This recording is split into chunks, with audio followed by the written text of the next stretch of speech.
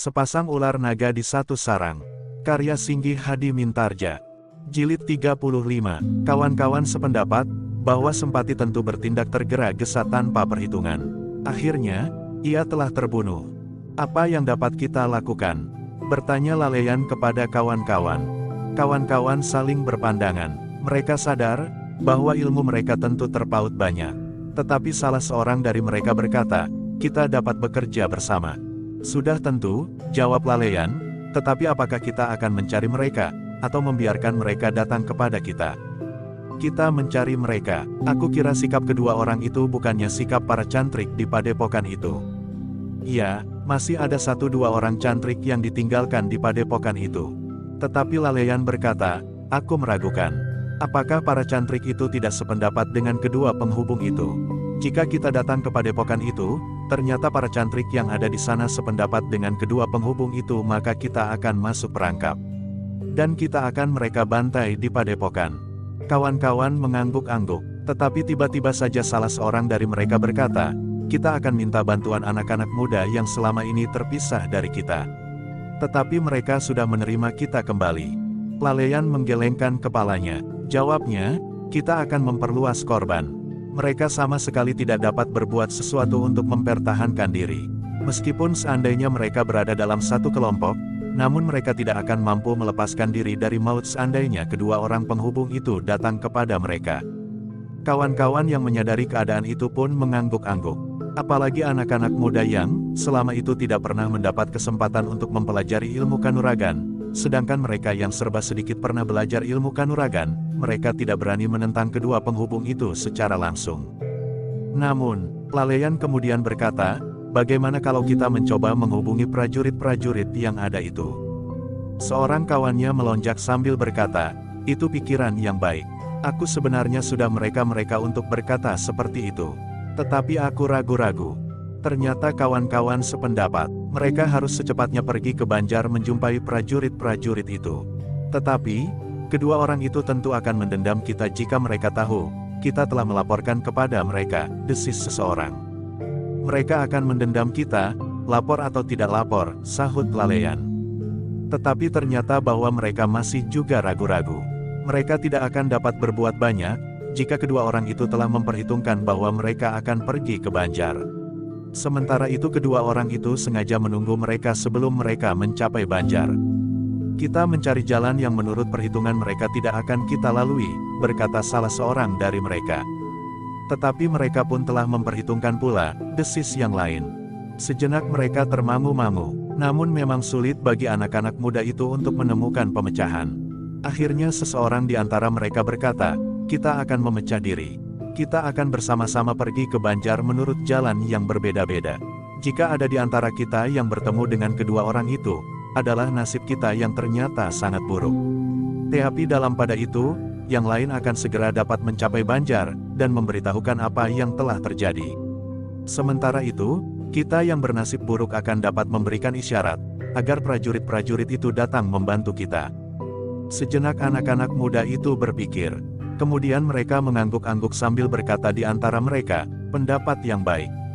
Kita akan melakukannya. Tetapi ternyata mereka tidak perlu melaksanakan rencana itu. Tiba-tiba saja rumah Sempati itu menjadi sibuk karena kedatangan lima orang prajurit Singasari yang untuk sementara tinggal di Banjar. Orang tua Sempati menerima mereka dengan ratap dan tangis. Di luar sadar, mereka seakan-akan telah menuntut kepada para prajurit itu untuk membalaskan dendam dan sakit hati mereka terhadap pembunuh anaknya. Kita harus menemukan pembunuh itu, berkata salah seorang prajurit itu, sementara kita belum mengetahui siapakah pembunuhnya, kita tentu masih belum dapat menentukan sikap apa pun. Tuan harus mencarinya, teriak ibu sempati. Prajurit-prajurit itu menarik nafas. Sambil mengangguk-angguk salah seorang, dari mereka menjawab, baiklah. Kami akan berusaha sejauh dapat kami lakukan. Tetapi sudah tentu bahwa kami tidak akan dapat menyanggupinya dengan pasti. Orang tua Sempati menjadi kecewa. Dengan tatapan mata yang basah ibu Sempati berkata, jika Tuan tidak menemukan, maka tidak ada gunanya Tuan berada di sini. Tuan hanya merusakkan suasana yang telah mulai mapan di padukuhan ini beberapa saat yang lalu. Apa pun yang dilakukan oleh anakku dalam lingkungan Empu Purung, namun saat itu tidak ada yang akan dapat dan berani membunuhnya. Tetapi ternyata kemudian prajurit Singasari telah mengguncang sendi-sendi kehidupan itu. Mungkin menjadi baik bagi orang lain, bagi padukuhan ini, tetapi alangkah buruknya bagiku karena anakku harus mati karenanya.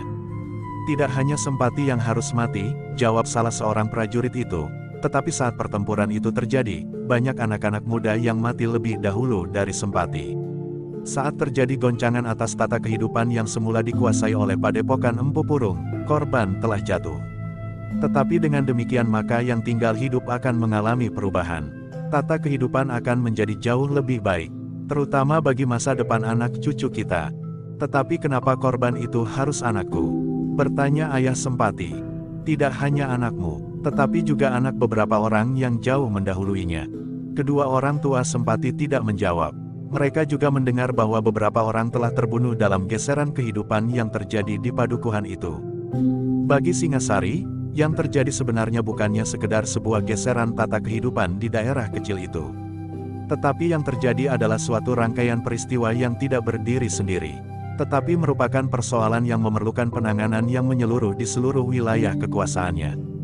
Lalean yang melihat, para prajurit itu berbicara panjang dengan orang tua Sempati, masih belum memotong dan memberikan penjelasan tentang peristiwa yang diketahuinya ada sangkut pautnya dengan kehadiran kedua orang penghubung itu. Baru kemudian, ketika kedua orang tua Sempati telah menjadi agak mengendap, Lalean datang kepada para prajurit itu untuk menyampaikan pendapatnya. Aku yakin, bahwa kedua penghubung itulah yang melakukannya, katanya kemudian setelah ia menceritakan apa yang diketahuinya. Prajurit-prajurit itu mengangguk-angguk. Salah seorang dari mereka bertanya, jadi, apakah mereka berada di padepokan itu menurut dugaanmu? Sulit bagi kami untuk mengatakannya, jawab Lalean. Tetapi mungkin juga cantrik yang tersisa di padepokan itu mengetahuinya. Prajurit-prajurit yang ada di rumah keluarga Sempati itu mengangguk-angguk. Tetapi mereka sadar, bahwa yang terjadi itu merupakan sebuah tantangan bagi mereka. Demikianlah ketika mereka meninggalkan rumah keluarga Sempati, kelima orang prajurit itu telah bersepakat untuk langsung pergi ke Padepokan, bekas tempat tinggal Empu Purung.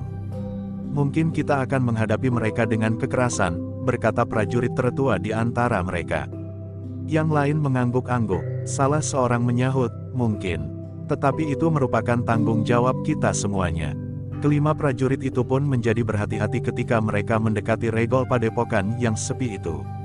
Padepokan yang tidak lagi nampak ramai oleh para cantrik, oleh anak-anak muda yang sedang berlatih olah kanuragan hampir tidak ada hentinya siang dan malam. Tetapi kini padepokan itu menjadi sepi. Sejenak para prajurit itu termangu-mangu di depan regol. Namun kemudian mereka memutuskan untuk memasuki regol yang lengang itu. Dengan tangan di hulu senjata masing-masing, kelima prajurit itu memasuki regol padepokan. Tidak ada seorang pun yang nampak di halaman depan. Halaman yang biasanya penuh dengan para murid. Sejenak kelima orang prajurit itu termangu-mangu. Namun kemudian salah seorang dari mereka berkata, Aku akan masuk. Tunggu, berkata yang tertua, yang menjadi pemimpin dari kelima orang prajurit itu, kita memanggil cantrik yang tersisa di padepokan ini. Sejenak kemudian, maka terdengarlah suara prajurit itu, He, siapakah yang ada di dalam? Suara bergema di seluruh padepokan. Sejenak tidak terdengar jawaban, namun kemudian seorang cantrik telah muncul dari balik regol longkangan. Cantrik itu pun nampak ragu-ragu, bahkan agak ketakutan. Pemimpin prajurit itu melambaikan tangannya memanggil cantrik yang ragu-ragu itu untuk mendekat. Kemudian dengan pendek bertanya tentang kemungkinan datangnya orang-orang yang masih belum dapat menerima perubahan yang terjadi di sekitar padepokan itu. Cantrik itu menjadi semakin ragu-ragu. Nampak sesuatu terbersit di sorot matanya, sehingga pemimpin prajurit itu pun langsung bertanya, apakah ada dua orang penghubung yang baru datang dari padepokan Empu Baladatu yang tidak mau mengerti perkembangan keadaan di padepokanmu ini. Cantrik itu termangu-mangu, namun kemudian ia tidak dapat mengelak lagi. Kedua orang yang dimaksud tentu kedua orang yang berusaha mencari dukungan atas usahanya untuk membalas dendam kematian kawan-kawan, termasuk pemimpin tertinggi padepokan itu. Betapapun ia ragu-ragu, namun ia pun kemudian menjawab, Ya Tuan. Dua orang kawanku yang bertugas sebagai penghubung telah datang. Mereka tidak melihat peristiwa yang telah terjadi di sini. Ketika aku menceritakannya, maka mereka sama sekali tidak mau menerima keadaan itu. Hatinya telah memberontak sehingga ia telah dicengkam oleh dendam dan kebencian. Prajurit-prajurit Singasari itu mengangguk. Salah seorang dari mereka berkata, tentu orang itu yang kami maksud. Apakah kau sudah mendengar peristiwa yang terjadi di padukuhan hari ini? Cantrik itu mengangguk. Jawabnya, ya Tuan, aku sudah mendengar, Sempati telah terbunuh. Apakah kau melihat hubungan antara Sempati dengan kedua orang kawanmu yang datang itu? Cantrik itu mengangguk. Jawabnya, aku melihat Tuan. Justru karena itu, Aku tidak datang menengok keluarganya. Aku takut jika terjadi salah paham. Keluarganya tentu akan menganggap bahwa aku terlibat dalam pembunuhan itu. Tetapi prajurit itu menggeleng. Katanya, keluarganya tidak tahu menahu tentang kedua orang penghubung yang datang itu. Tetapi dari mana Tuan tahu? Bertanya cantrik itu. Seseorang telah memberitahukan kepadaku, bahwa ada dua orang penghubung dari padepokan ini yang berusaha untuk mengeruhkan suasana di padepokan ini. Cantrik itu menangguk-angguk. Katanya, sebenarnya lah memang telah terjadi demikian. Terserah kepada Tuan, apa yang sebaiknya dilakukan dalam keadaan seperti ini. Prajurit-prajurit Singasari itu termenung. Namun salah seorang dari mereka tiba-tiba bertanya, apakah kau sendiri di padepokan ini? Cantrik itu menggeleng sambil menjawab, tidak. Aku tidak sendiri, aku bertiga di padepokan ini. Apakah kedua kawanmu itu tidak akan berbuat sesuatu atas kalian bertiga? Cantrik itu menarik nafas dalam-dalam. Jawabnya, memang mungkin, tetapi di samping kami bertiga, masih ada beberapa orang penghuni padepokan ini. Meskipun mereka bukan cantrik dan murid Empu Purung, tetapi mereka akan dapat kami jadikan kawan jika terjadi sesuatu. Bukankah maksud Tuan ingin bertanya, apakah mungkin pada suatu saat, kedua orang itu akan membunuh kami? Prajurit-prajurit itu mengangguk. Kami telah bersiap menghadapi kemungkinan itu Tuan.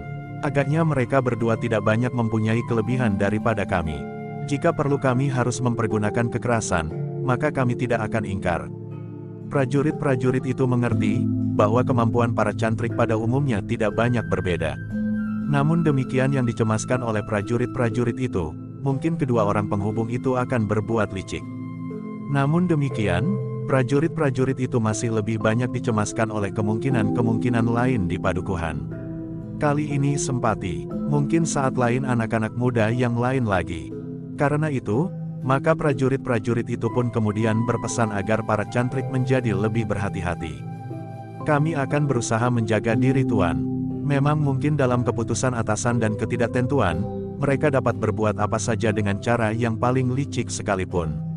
Aku yang telah lama berada di dalam lingkungan ini memang dapat melihat, bahwa kami mempergunakan segala cara untuk mencapai tujuan kami, meskipun cara itu adalah cara yang sangat licik. Baiklah, kami akan meninggalkan padepokan ini. Kami berharap bahwa para cantrik yang tersisa akan dapat membantu kami memelihara ketenangan yang sudah mulai kita rintis ini. Baiklah Tuan, kami akan berusaha sejauh dapat kami lakukan, jawab cantrik itu. Prajurit-prajurit itu pun kemudian minta diri meninggalkan padepokan yang telah menjadi sepi itu. Di sepanjang jalan mereka berbincang apakah yang sebaiknya mereka lakukan untuk menghadapi kemungkinan yang memburuk di hari-hari mendatang. Kita harus berada di antara anak-anak muda itu, berkata salah seorang dari prajurit-prajurit itu, kita akan membantu mereka menambah kemampuan mereka untuk membela diri. Aku sependapat, tetapi kami harus berusaha, menangkap keduanya. Sebelum keduanya tertangkap, kita masih akan banyak mengalami kesulitan. Para prajurit itu mengangguk-angguk. Mereka bersepakat untuk segera menangkap keduanya. Tetapi yang sulit adalah, bagaimana caranya? Keduanya tentu tidak akan menetap di tempat yang mudah diketemukan. Tetapi yang pertama-tama dapat mereka lakukan adalah memperingatkan anak-anak muda agar berhati-hati, terlebih-lebih mereka yang pernah mempunyai hubungan dengan padepokan yang dipimpin oleh Empu Purung, karena peristiwa yang terjadi pada Sempati akan dapat terjadi pada anak-anak muda yang lain, yang menolak niat kedua penghubung itu. Prajurit-prajurit Singasari itu pun kemudian selalu mengadakan perondaan di sekitar padepokan dan padukuhan-padukuhan di sekelilingnya. Tetapi mereka tidak pernah bertemu dengan orang yang sesuai ciri-cirinya dengan penghubung yang sedang mereka cari, seperti yang diberitahukan kepada mereka oleh para cantrik. Tetapi sekali lagi padukuhan alas pandan digemparkan, Ketika di tengah bulat diketemukan lagi sesosok mayat anak muda yang dikenal sebagai salah seorang yang pernah menjadi pengikut Empu Purung. Mayat itu diketemukan dengan beberapa luka tusukan senjata di tubuhnya. Gila, Lalean menggeram, korban akan berjatuhan sebelum kedua orang itu dapat kami tangkap. Apakah kau berani menangkap mereka? Bertanya seorang kawannya. Tidak, tidak jika aku seorang diri. Tetapi jika kita bersama-sama, maka pekerjaan itu tentu akan dapat kita selesaikan. Tetapi ke mana kita harus mencari keduanya? Bertanya yang lain. Semuanya terhenti pada pertanyaan itu. Kedua orang itu ternyata tidak pernah menampakkan diri pada saat-saat yang tidak menguntungkan bagi mereka, karena mereka pun mempunyai perhitungan yang cermat pula. Kematian anak muda yang kedua itu telah membuat anak-anak muda yang lain menjadi marah, tetapi juga ketakutan. Tidak ada di antara mereka yang berani keluar dari rumah mereka di malam hari. Apalagi keluar, sedangkan di dalam rumah masing-masing anak-anak muda itu selalu menyediakan senjata di sampingnya dengan hati yang cemas. Yang pertama-tama mereka lakukan adalah menyimpan alat-alat yang dapat mereka jadikan penghubung yang satu dengan yang lain apabila keadaan memaksa. Hampir setiap anak muda telah menyimpan kentongan di dalam rumahnya. Jika satu dari kentongan itu berbunyi, maka di seluruh padukuhan akan menjadi riuh karena berpuluh-puluh kentongan lainnya akan berbunyi pula. Sementara itu para prajurit Singasari menjadi gelisah pula oleh peristiwa semacam itu. Mereka mulai membayangkan peristiwa-peristiwa yang terjadi di daerah lain, yang tentu mulai menjadi panas pula, Empu Baladatu yang sudah mendapat pemberitahuan tentang peristiwa yang terjadi di Padepokan Empu Purung oleh kedua penghubung itu sebelum mereka mengetahui bahwa Empu Purung telah mereka hancurkan. Mungkin kedua penghubung itu telah pergi, berkata salah seorang anak muda pada suatu saat kepada kawannya. Kenapa mereka pergi? Mungkin mereka melaporkan apa yang terjadi di daerah ini kepada Empu Baladatu. Mungkin, tetapi masih ada kemungkinan lain. Mereka bersembunyi sebaik-baiknya. Jika kita lengah, pada suatu saat mereka akan menerkam kita. Justru lebih parah lagi. Sementara itu, para prajurit yang membawa beberapa orang tawanan telah berada di Singasari. Beberapa orang petugas telah menampung mereka pada suatu tempat yang telah ditentukan. Orang-orang yang terluka telah mendapat perawatan. Sedangkan yang tidak berbahaya lagi, mendapat perlakukan khusus sehingga mereka lebih banyak mendapat kesempatan berada di luar dinding bilik yang sempit. Namun dalam pada itu, para penghubung prajurit Singasari telah berpencar. Mereka telah menghubungi barak-barak yang tersebar, karena mereka pun telah mendapat keterangan, bahwa Empu Baladatu tentu akan segera bertindak pula, karena peristiwa yang telah meledak di padepokan Empu Purung. Seperti yang telah diperhitungkan, maka di beberapa tempat segera pecah pula pertempuran-pertempuran seperti yang telah terjadi di Alas Pandan. Beberapa orang, yang telah siap, dan bahkan mereka menunggu terlalu lama, telah menggerakkan pengikut-pengikutnya menyerang barak-barak yang mereka anggap terpencil. Namun barak-barak itu sebenarnya telah diperkuat dengan beberapa orang prajurit pilihan pada saat-saat terakhir, karena menurut perhitungan mereka, petempuran-petempuran tentu akan segera pecah. Namun bagaimanapun juga, Singasari merasa gelisah juga atas pecahnya pertempuran-pertempuran di beberapa tempat yang tersebar. Dengan demikian, maka Singasari harus mengirimkan pasukannya ke beberapa tempat. Singasari tidak dapat dengan acuh tidak acuh membiarkan pasukan mereka yang tersebar itu berusaha menolong diri sendiri jika mereka berada di dalam kesulitan. Seorang senapati yang memimpin sepasukan prajurit di hadapan sebuah padepokan di pantai selatan, telah mengirimkan dua orang penghubung untuk memberitahukan, bahwa pasukannya tidak mungkin dapat menghadapi kekuatan di padepokan itu, karena jumlah mereka terlalu banyak. Dengan hitungan angka-angka yang terperinci, maka Singasari merasa wajib untuk mengirimkan sepasukan lagi prajuritnya ke tempat itu, tepat sebelum pertempuran meletus. Namun dalam pada itu, pada umumnya Singasari dapat menguasai keadaan. Perlawanan yang berarti di beberapa tempat telah dapat dilumpuhkan. Meskipun demikian, tugas para prajurit belum berarti selesai seluruhnya. Lima orang prajurit di alas pandan masih dipusingkan. Selain mereka, maka Singasari tidak boleh melepaskan pengawasan mereka terhadap Mahibit. Sementara itu, Linggapati mengikuti perkembangan keadaan dengan seksama. Ia merasa berhasil membenturkan pasukan Singasari dengan orang-orang yang berada di bawah pengaruh Empu Baladatu. Linggapati yang menganggap bahwa Singasari telah mempercayai laporan-laporan yang dengan sandi diberikan oleh pengikut Linggapati, sehingga Singasari telah mengirimkan pasukannya ke beberapa tempat yang berada di bawah pengaruh Empu Baladatu. Perhatian Singasari kini telah tertumpah kepada pasukan Empu Baladatu, berkata Linggapati kepada orang-orang kepercayaannya. Saatnya kini telah tepat, berkata salah seorang dari kepercayaannya itu. Linggapati tidak segera mengambil keputusan. Namun katanya kemudian, kita harus memperhitungkan keadaan dengan sebaik-baiknya, Empu Baladatu agaknya telah terpancing untuk dengan tergesa-gesa membenturkan kekuatannya, sehingga sebelum persiapannya masak, ia sudah terlibat dalam pertempuran yang menyeluruh. Para pengawal kepercayaan mengangguk-angguk. Mereka pun mengerti bahwa pada mulanya, Linggapatilah yang memancing prajurit Singasari untuk pergi ke tempat-tempat yang sedang dipersiapkan. Kemudian ternyata bahwa pasukan Singasari telah berhasil memancing pertempuran sebelum Empu Baladatu siap seluruhnya. Linggapati yang tidak mau gagal lagi, setelah adiknya terbunuh dalam serangan yang tergesa-gesa atas sebuah padepokan yang dikuasai oleh kakak Empu Baladatu. Kita harus mengirimkan petugas-petugas terpercaya ke kota raja untuk melihat keadaan. Aku sendirilah yang akan memimpin mereka. Jika keadaan memungkinkan, karena kota raja telah menjadi kosong, kita akan langsung bertindak, sementara pengikut-pengikut kita di daerah-daerah yang jauh harus bergerak lebih dahulu, agar pasukan Singasari menjadi semakin kalang kabut. Para pengawalnya mengangguk-angguk, mereka memang melihat keadaan yang paling tepat untuk melakukannya. Jika pasukan Empu Baladatu sudah dihancurkan, maka prajurit-prajurit Singasari tentu akan segera kembali ke kota raja, sehingga usahanya tentu akan gagal.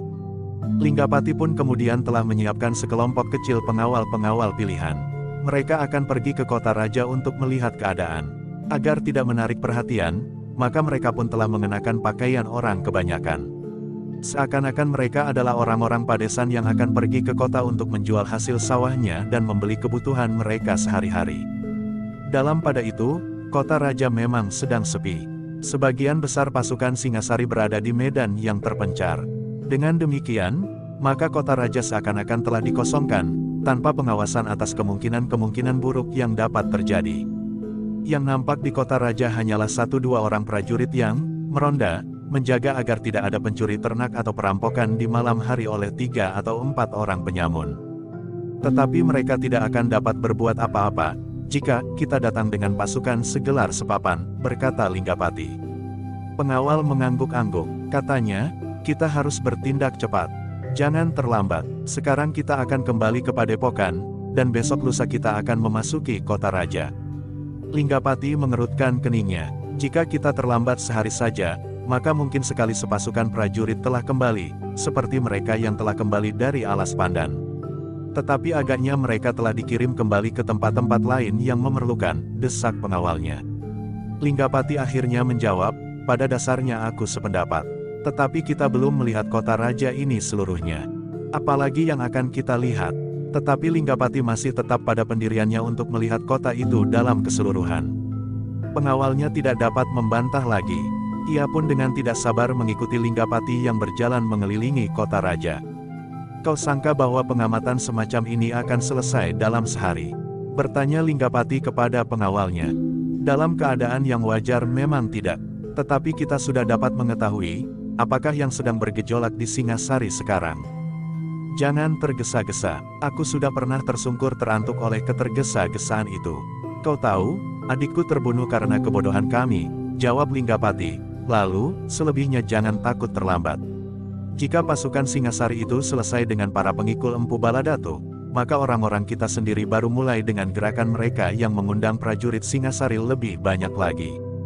Jika kita memanfaatkan keadaan ini, maka sebagian dari mereka dapat kita tarik untuk membantu kita menduduki kota raja. Mereka dapat mengacaukan rencana kita. Biarlah mereka saling membunuh dengan prajurit-prajurit Singasari di tempat yang jauh. Semakin banyak di antara mereka terbunuh bersama prajurit Singasari, akibatnya tentu akan lebih baik. Pengawalnya menjadi heran, mereka tidak segera dapat menangkap maksud Linggapati. Agaknya Linggapati mengetahui keraguan-raguan para pengikutnya, sehingga ia menjelaskan, mereka hanyalah aku perlukan dalam pertempuran-pertempuran yang akan terjadi dengan prajurit-prajurit Singasari. Selebihnya mereka hanya akan mengganggu karena setiap orang menghendaki untuk mendapat tempat yang paling baik, sehingga lebih baik jika mereka pun dimusnahkan oleh prajurit-prajurit Singasari.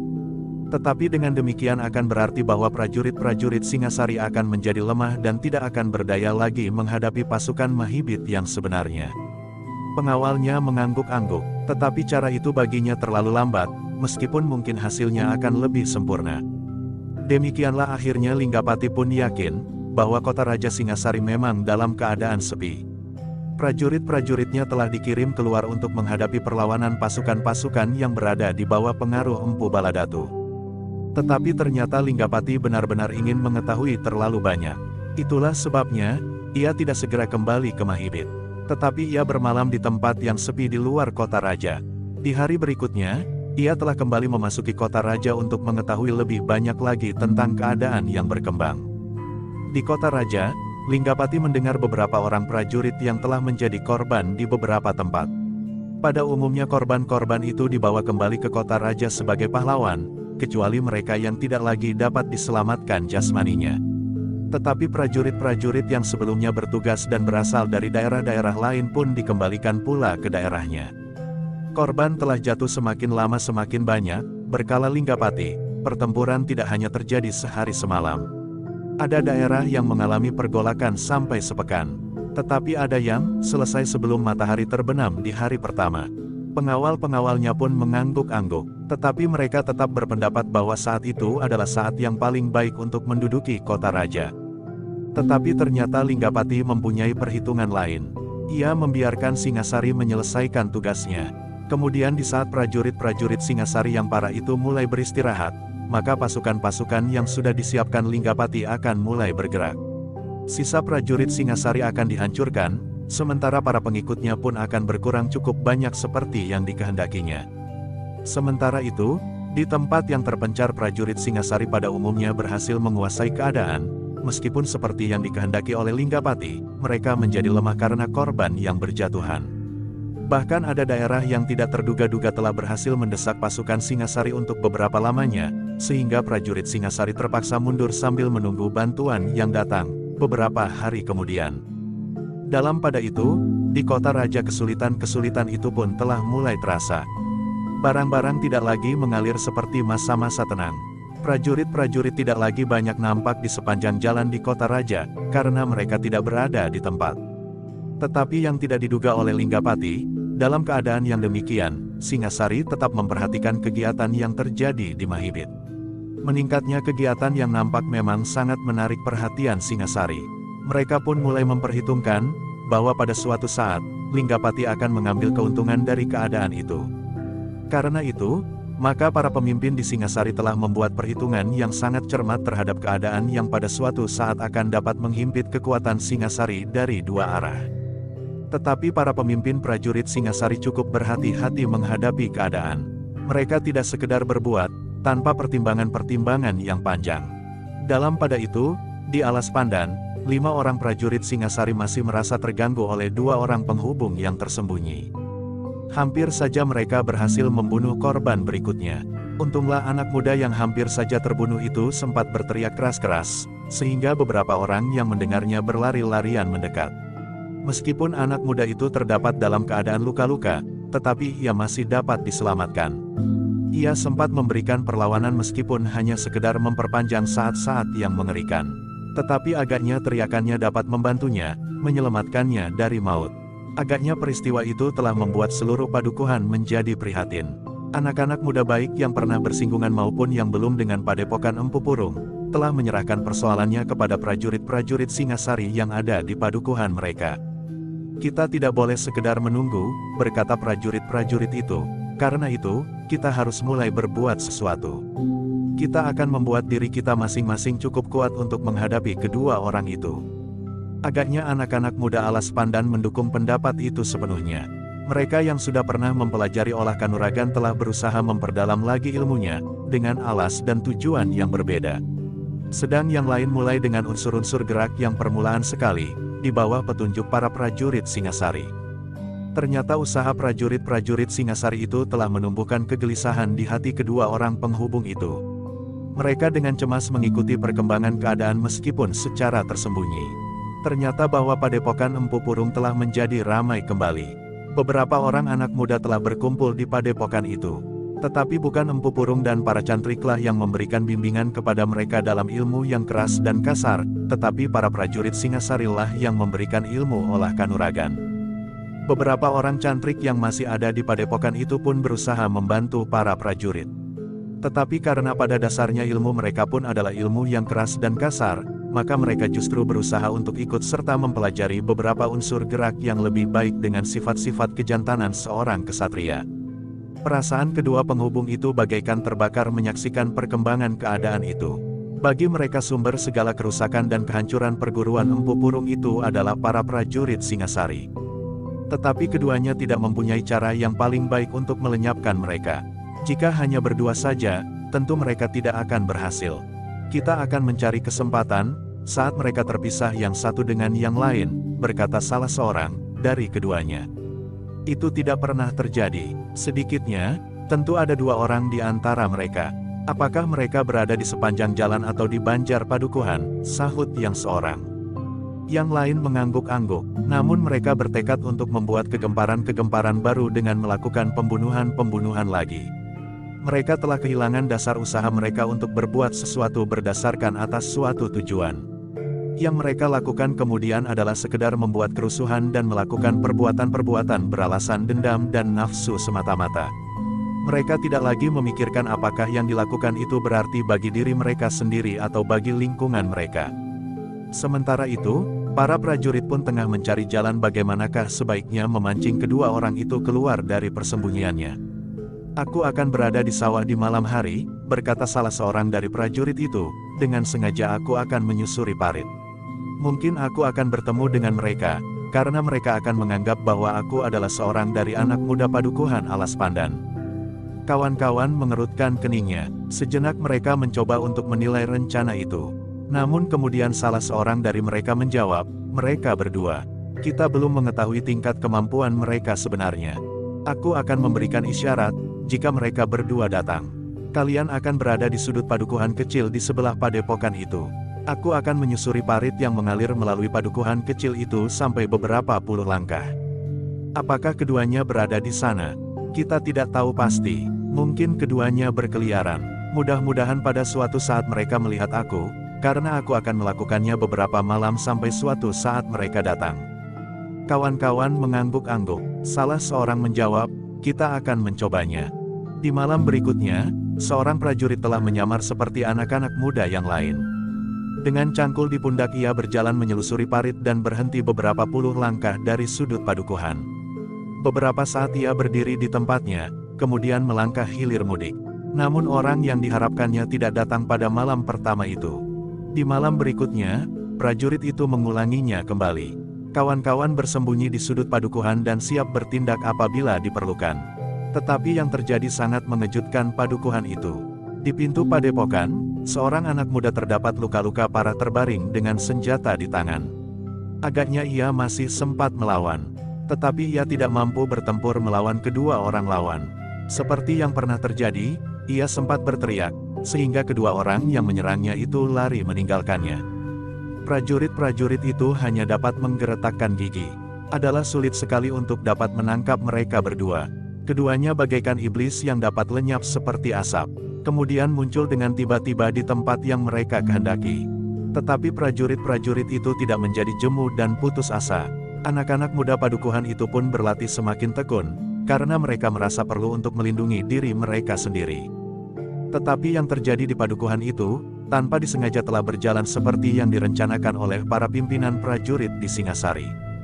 Untuk menanggapi perkembangan keadaan, dengan digunakannya prajurit Singasari di medan yang luas, maka para pemimpin telah memerintahkan agar diberikan pengampunan kepada anak-anak muda yang di luar sadarnya telah terlibat dalam perlawan terhadap Singasari. Mereka justru mendapat kesempatan untuk mengabdikan dirinya bagi keselamatan Singasari menanggapi kesiagaan orang-orang di Mahibit. Di berbagai tempat yang telah berhasil dikuasai keadaannya oleh pasukan Singasari, maka prajurit-prajurit Singasari telah mengumpulkan anak-anak muda yang masih mungkin dipercaya untuk ikut serta menegakkan kewibawaan Singasari. Mereka mendapat bimbingan terutama jiwanya untuk mengenali diri sendiri dan tingkah laku mereka. Yang telah terjadi itu ternyata dapat menolong keadaan. Singasari tidak dipenuhi oleh tawanan-tawanan yang berjejalan, tetapi justru memberikan bentuk jiwani pada anak-anak muda yang telah tersesat. Ternyata bahwa Linggapati pun memperhatikan semua yang telah dilakukan oleh Singasari. Dengan saksama ia mendengarkan laporan-laporan yang beruntun datang dari beberapa daerah oleh penghubung-penghubung yang ditempatkannya khusus untuk mengamati keadaan. Kita terlambat, berkata salah seorang pengawalnya yang sejak semula telah mendesaknya untuk bertindak. Linggapati menggeleng. Jawabnya, tidak, Singasari masih belum dapat menangkap Empu Baladatu. ia masih berkeliaran dan memberikan perlawanan di mana-mana. Tetapi kekuatan Empu Baladatu telah hampir dapat dilumpuhkan di segala tempat. Biarlah yang tersisa itu memeras kekuatan Singasari. Yang tersisa itu masih sempat membunuh beberapa puluh orang korban di medan yang tersebar. Pengawalnya hampir-hampir tidak telaten lagi menunggu perintah Linggapati. Dengan cemas ia mengikuti setiap laporan mengenai perkembangan keadaan di daerah-daerah. Apalagi jika ada di antara para penghubung itu memberikan laporan tentang kemungkinan terbentuknya satu kekuatan cadangan dari anak-anak muda yang justru semula berpihak kepada Empu Baladatu. Dalam pada itu, prajurit-prajurit Singasari telah benar-benar bertindak tegas terhadap para pengikut Empu Baladatu. Di beberapa tempat korban menjadi terlalu banyak. Namun hal itu tidak dapat dihindarinya dalam keadaan yang gawat bagi Singasari. Apalagi ketika Singasari mendapat laporan dari para petugas sandinya tentang kegiatan yang semakin meningkat di Mahibit, maka mereka pun menjadi semakin banyak memperhatikan kemungkinan untuk meningkatkan ketahanan prajurit Singasari yang semakin lemah karena perlawan Empu Baladatu. Perlawanan itu harus diakhiri segera, berkata Manisa Agni ketika ia berada di dalam sidang para pemimpin Singasari. Ia berada di tengah-tengah induk pasukan yang kuat yang bergerak mendekati kota raja, berkata seorang petugas sandi yang mengikuti gerakan di induk pasukan Empu Baladatu.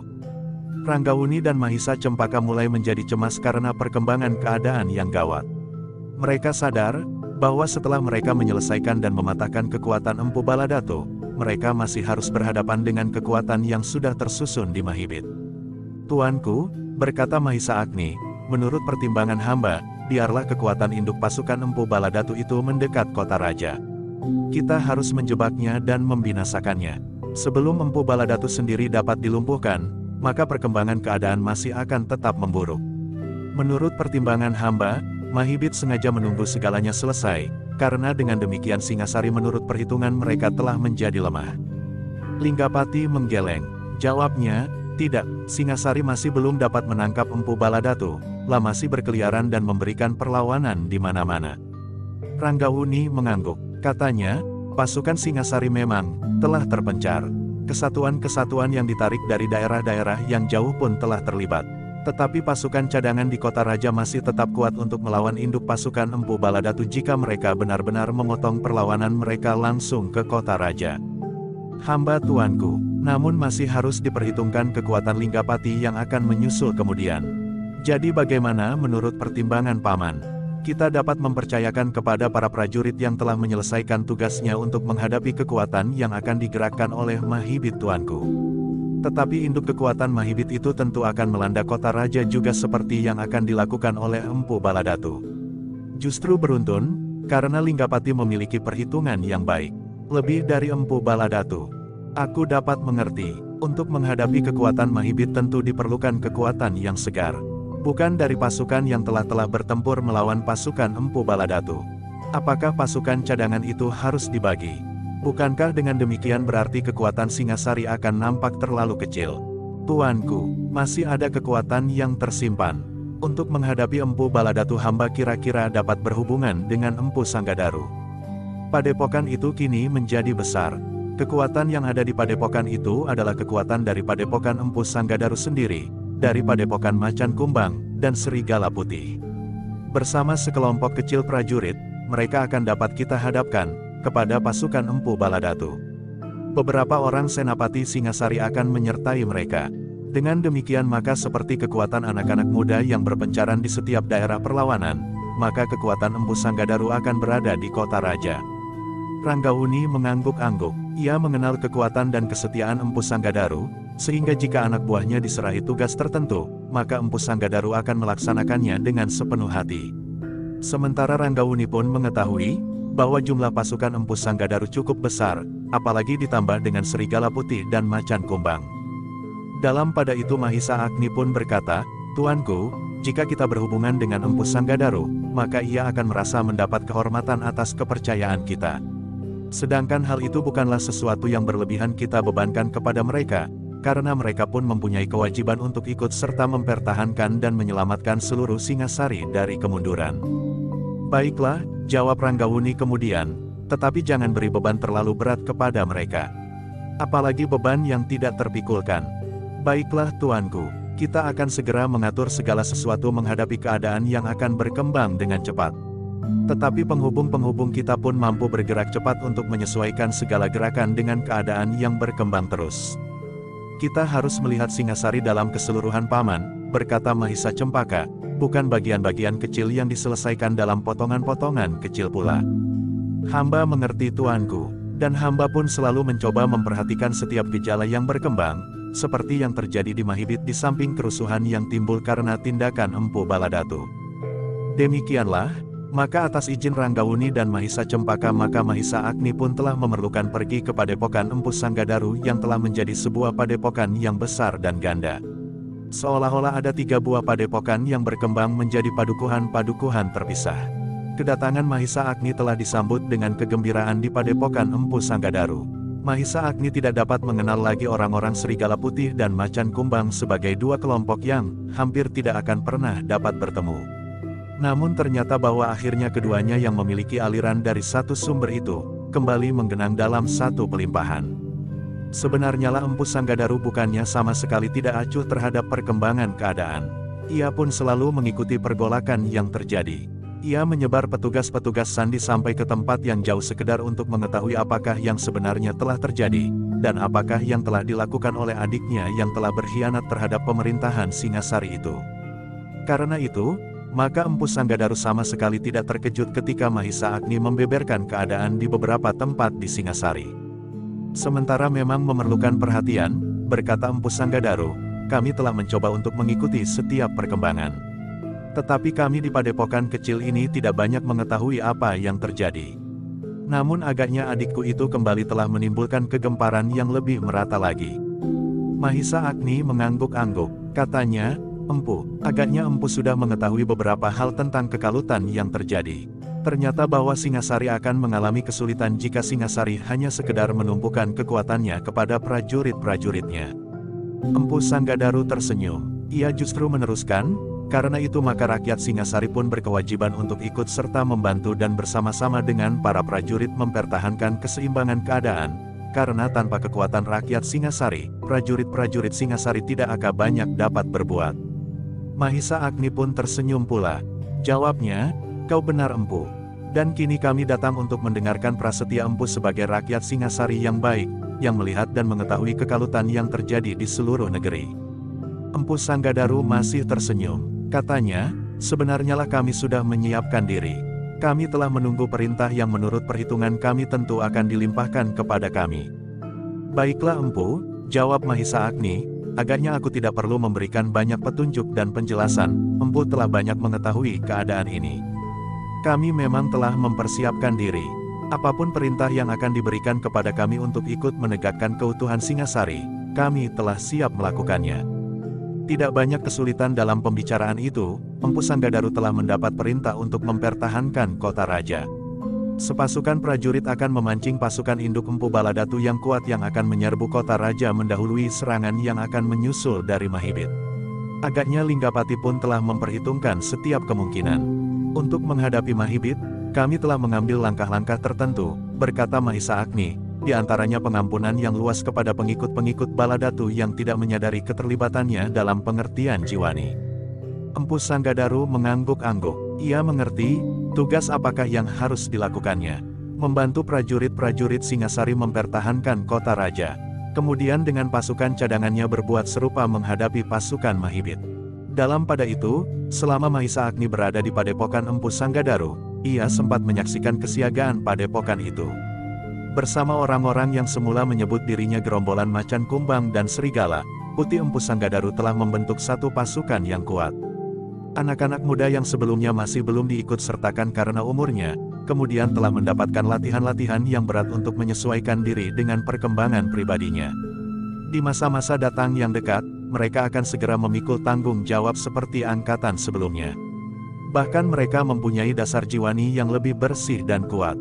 Inilah yang dapat kami sediakan bagi Singasari, berkata Empu Sanggadaru, Mudah-mudahan mereka dapat memenuhi tugasnya dengan baik, sesuai dengan kedudukan mereka sebagai rakyat Singasari.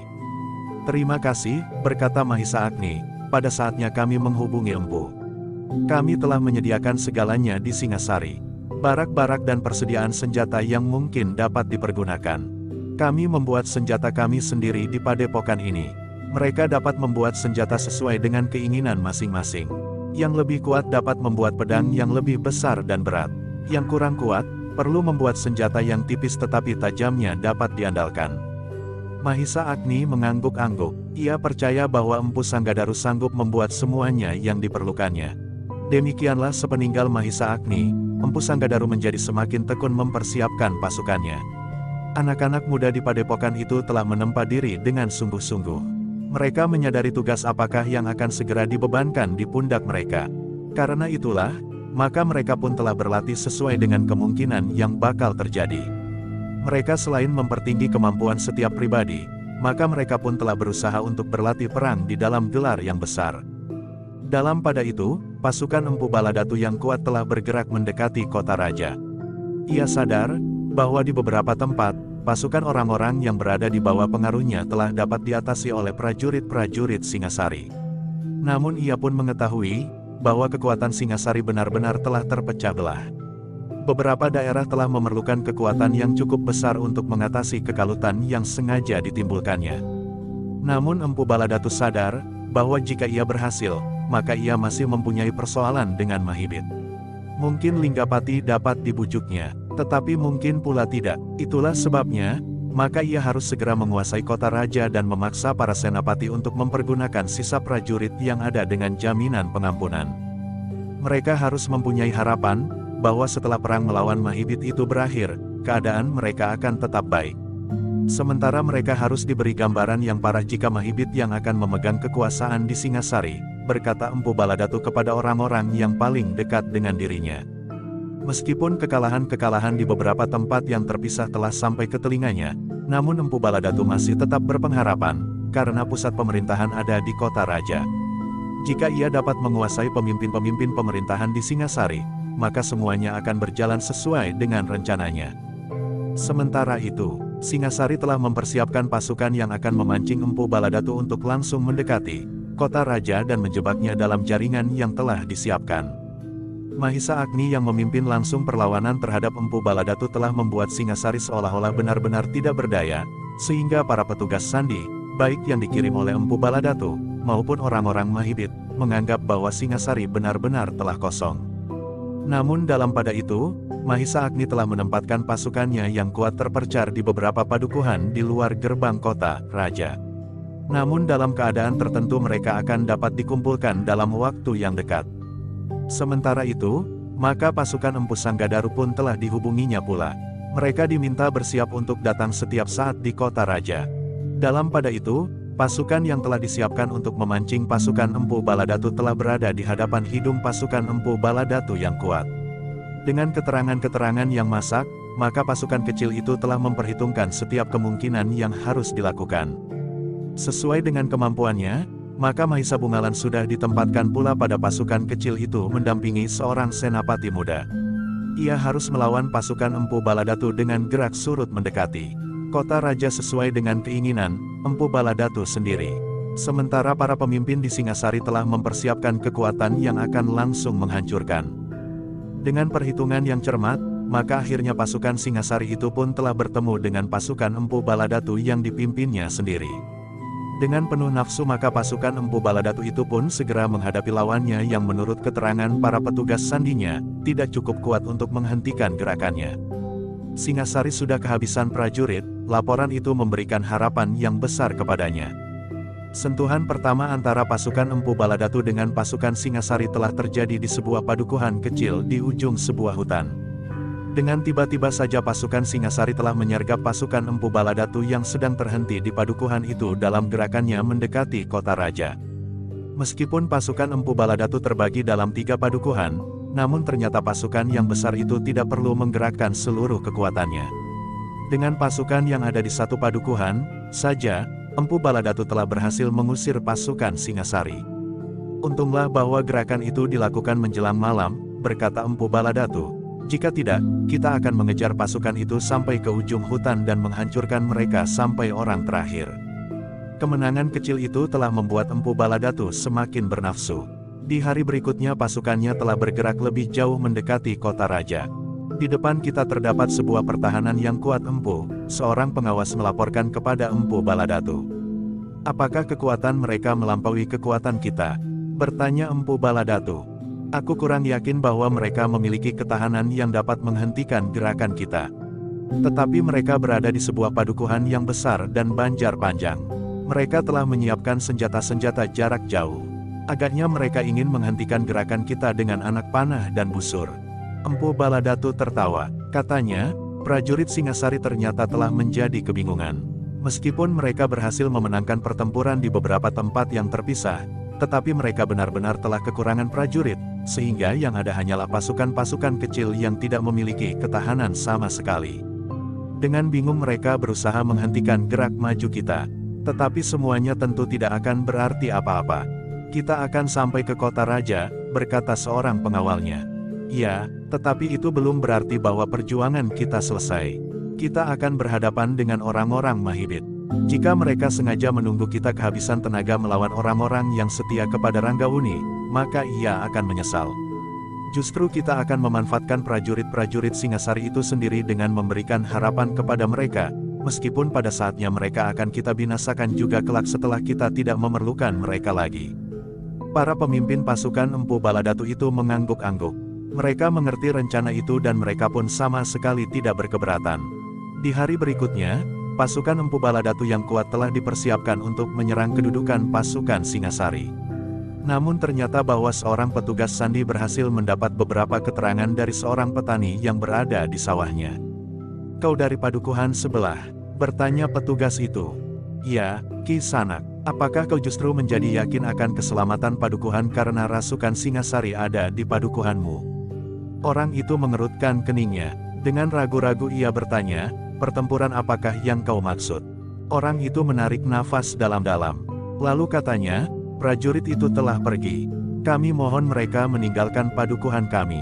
Mereka merupakan beban yang tidak tertanggungkan oleh orang-orang miskin seperti aku.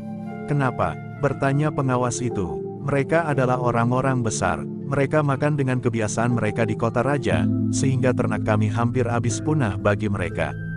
Oh, lalu, kami mohon mereka mencari tempat lain yang lebih baik dari padukuhan kami. Tetapi adalah kebetulan sekali bahwa petugas mereka melihat pasukan yang besar di padukuhan lain. Pasukan yang akan dapat membebaskan kami dari kesulitan itu. Apakah mereka tidak mempersiapkan pertahanan? Petani itu tertawa, katanya, itulah yang aneh. Mereka dengan tergesa-gesa meninggalkan padukuhan kami. Namun dengan demikian kami merasa tenang, bahwa di tempat ini tidak akan terjadi pertempuran. Sejauh-jauh penderitaan kami, adalah padukuhan kami akan menjadi jalur jalan yang akan dilewati pasukan yang besar itu. Tetapi kami tidak akan berkeberatan. Laporan itu segera sampai ke telinga Empu Baladatu. Sepasukan kecil kemudian meyakinkan keterangan itu. Dan ternyata bahwa padukuhan itu benar-benar telah dikosongkan dengan tergesa-gesa. Pasukan Empu Baladatu yang kemudian datang, masih menemukan beberapa busur dan anak panah yang masih tertimbun di sebuah bilik kecil di Banjar Padukuhan itu. Inilah yang kita temukan pada prajurit-prajurit Singasari. Beberapa hari lagi, kita akan memasuki kota raja dengan tanpa perlawanan sama sekali seperti yang kita alami sekarang ini.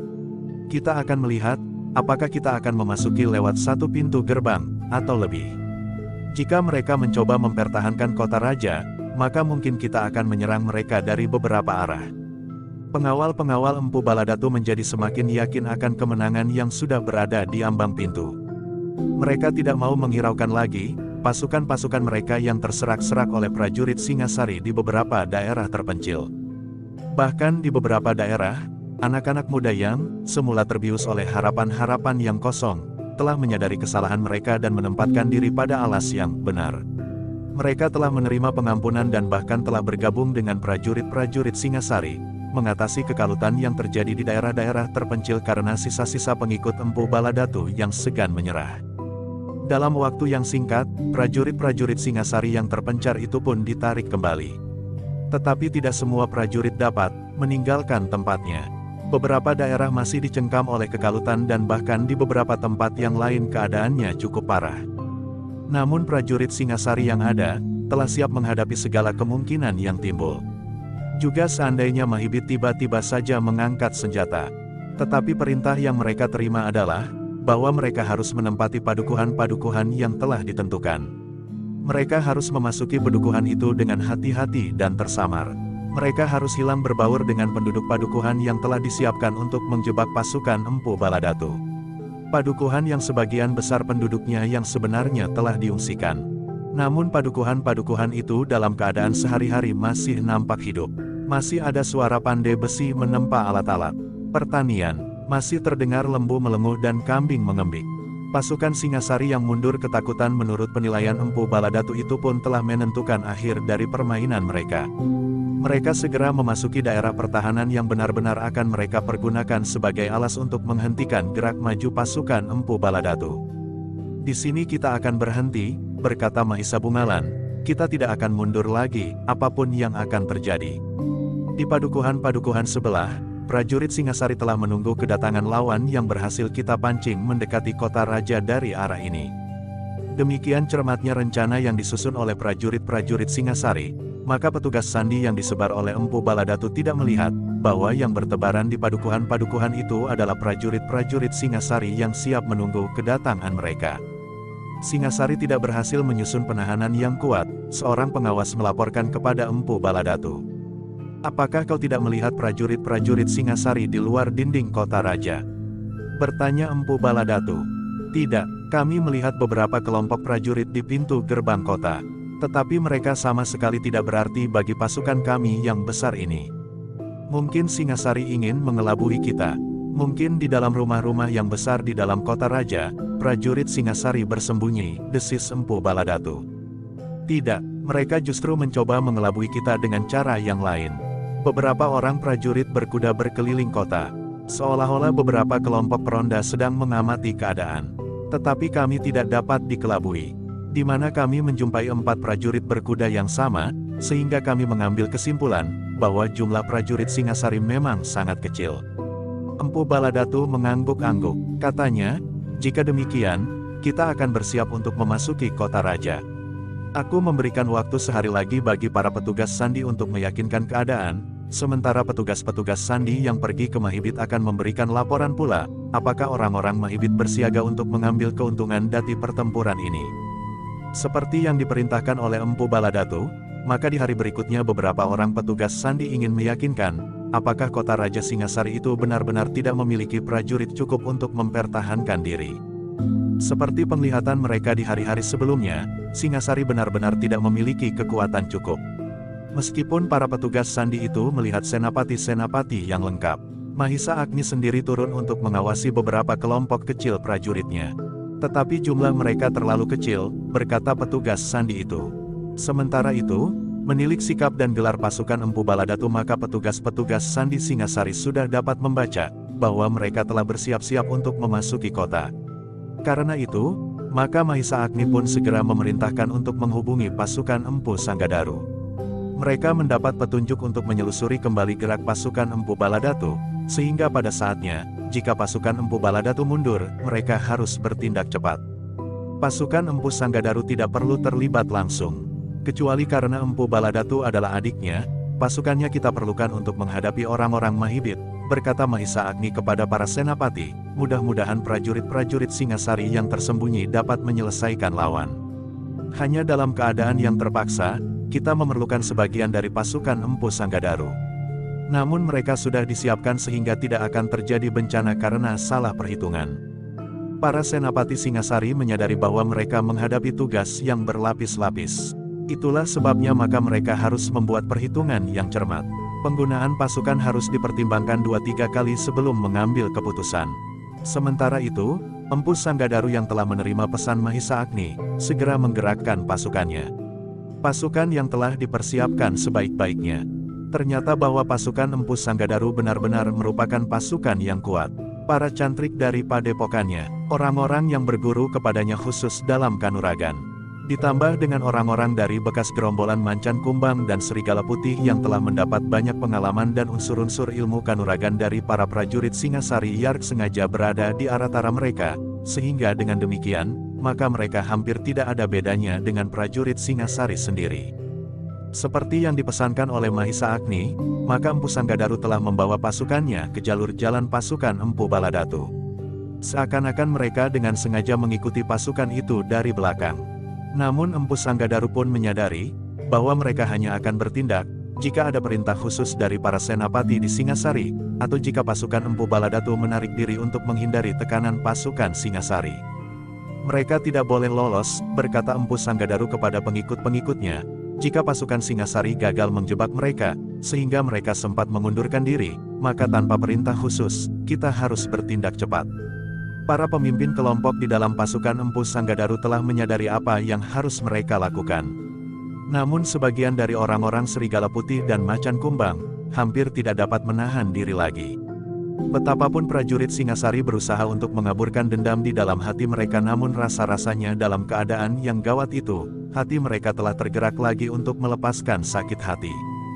Tetapi mereka merasa terikat kepada perintah Empu Sanggadaru sehingga mereka tidak dapat berbuat menurut kehendak mereka sendiri. Dalam pada itu, ketika sampai pada saatnya, Menurut perhitungan Empu Baladatu, pasukannya telah disiapkan sebaik-baiknya. Setelah kesempatan terakhir diberikan kepada petugas sandinya untuk melihat sekali lagi keadaan kota raja, dan laporan yang diterimanya masih saja seperti laporan sebelumnya, maka Empu Baladatu pun segera menempatkan pasukannya pada tindakan terakhir yang akan menentukan. Empu Baladatu sadar, bahwa Linggapati mempunyai kekuatan di banyak daerah. Namun ia masih tetap mempunyai harapan, bahwa pada saatnya ia akan dapat mempergunakan prajurit Singasari yang tersisa dari pertempuran yang telah berlangsung di daerah-daerah dan di kota raja. Ketika Fajar menyingsing, di ujung timur, Empu Baladatu telah berada di induk pasukannya. Ia sudah memutuskan, bahwa hari itu adalah hari yang akan sangat menentukan. Ia akan membawa pasukannya memasuki kota yang hanya dipertahankan oleh kekuatan kecil saja. Kita sadar, bahwa prajurit yang ada di kota raja di bawah para senapati yang terkenal itu tidak akan mau menyerah. Berkata Empu Baladatu kepada pemimpin-pemimpin kelompoknya sebagai pesannya terakhir. Tetapi jangan ragu-ragu, binasakan saja mereka, karena mereka adalah ular-ular berbisa yang setiap saat dapat menggigit tumitmu dan membinasakanmu. Mereka sadar, bahwa yang mereka lakukan adalah membunuh diri di kota raja. Bahkan mungkin Ranggawuni dan Mahisa Cecempaka pun akan membunuh diri mereka pula bersama para senapatinya. Para pemimpin kelompok di dalam pasukan Empu Baladatu yang besar itu pun menyadari bahwa mereka akan menghadapi prajurit-prajurit yang meskipun hanya sedikit, tetapi mereka tentu bagaikan orang-orang gila yang memilih mati dari kesempatan-kesempatan yang mana pun juga. Demikianlah, maka sebelum matahari naik ke punggung Cakrawala, Empu Baladatu telah mengerahkan pasukannya. Ia membagi pasukannya dalam tiga kelompok yang cukup besar. Mereka akan bersama-sama menuju ke dinding yang melingkari kota raja. Induk pasukan mereka akan memasuki kota raja yang pertama-tama. Jika prajurit yang ada di regol kota itu melawan dan menutup jalan, maka yang lain akan meloncat dinding dan kemudian menyergap gerbang justru dari dalam. Dalam keremangan cahaya fajar, maka tiga kelompok pasukan yang cukup besar itu nampak bagikan awan yang hitam, bergulung-gulung di atas tanah persawahan menerkam dinding kota raja yang sepi senyap. Saat-saat yang memang sudah diperhitungkan oleh para prajurit Singasari itu datang. Di pintu gerbang prajurit Singasari siap menyongsong lawan yang mendekat. Jumlah prajurit yang ada di pintu gerbang itu memang tidak banyak. Di hadapan pintu gerbang, adalah prajurit Singasari yang selalu mundur dan menghindar. Selain seorang senapati, maka Mahisa Bungalan pun ada di dalam pasukan itu pula. Namun jumlahnya yang sangat kecil benar-benar tidak diperhitungkan oleh Empu Baladatu. Mereka tentu hanya dapat menghambat jalan seperti seonggok sampah. Tetapi dengan sekali dorong, maka sampah itu tentu akan berhamburan dan lenyap di tiup angin. Karena itulah, maka pasukan Empu Baladatu itu maju dengan penuh kepastian, bahwa sebentar lagi, mereka akan memasuki kota raja. Namun dalam pada itu, berita tentang gerak pasukan Empu Baladatu itu telah merambat dari satu padukuhan ke padukuhan yang lain. Hampir setiap orang laki-laki yang ada di padukuhan-padukuhan itu pun segera mempersiapkan diri. Meskipun tidak mengenakan pakaian seorang prajurit, tetapi setiap orang telah mengenakan tanda-tanda yang menyatakan tentang diri mereka. Mereka terbagi dalam tiga kelompok, berkata seorang penghubung kepada seorang yang berada di gerbang padukuhan. Segala gerak pasukan Empu Baladatu pun ternyata telah diketahui oleh setiap orang di padukuhan yang akan dilaluinya. Karena itulah, maka di setiap padukuhan itu pun telah timbul segala macam persiapan untuk menghadapi setiap kemungkinan. Mahisa Bungalan dan pasukan kecilnya telah mempersiapkan diri. Mereka akan berada di padukuhan yang ada di hadapan pintu gerbang, sehingga padukuhan itu tentu akan dilalui oleh induk pasukan Empu Baladatu. Sesaat kemudian, maka di setiap padukuhan yang berpencaran agak jauh itu pun telah siap beberapa kelompok pasukan yang akan menyongsong kedatangan pasukan Empu Baladatu. Di sebuah padukuhan, Mahendra telah menunggu bersama sekelompok prajurit Singasari dalam pakaian sandi, sehingga tidak diketahui oleh para petugas lawan. Di padukuhan yang lain Witantra telah menunggu perintah untuk bertindak. Sementara itu Mahisa Murti dan Mahisa Pukat berada di sebuah padukuhan, bersama seorang senapati yang telah agak lanjut usia. Seperti yang lain, maka mereka pun tidak menyatakan diri sebagai prajurit-prajurit Singasari. Sedangkan di paduhan yang lain lagi, Lembu Ampal siap bertindak cepat bersama pasukannya. Sementara itu, di pintu gerbang kota raja, Mahisa Agni bersama sekelompok prajurit telah bersiap pula. Mereka ternyata tidak hanya terdiri dari beberapa orang seperti yang dilihat oleh petugas-petugas sandi. Tetapi mereka terdiri dari sepasukan prajurit pilihan yang berada di beberapa rumah sebelah menyebelah jalan yang memanjang melalui gerbang, dinding kota raja itu. Ranggawuni dan Mahisa Cempaka ternyata tidak dapat dipaksa untuk tetap tinggal di dalam istana dengan pengawalan yang kuat. Di saat-saat yang menentukan, mereka telah berada di pintu gerbang bersama sekelompok pengawal pilihan. Tuanku, desis Mahisa Agi. Ranggawuni tersenyum. Katanya, aku merasa lebih aman berada di sini daripada di dalam istana. Selebihnya, aku akan dapat melihat langsung apa yang akan terjadi.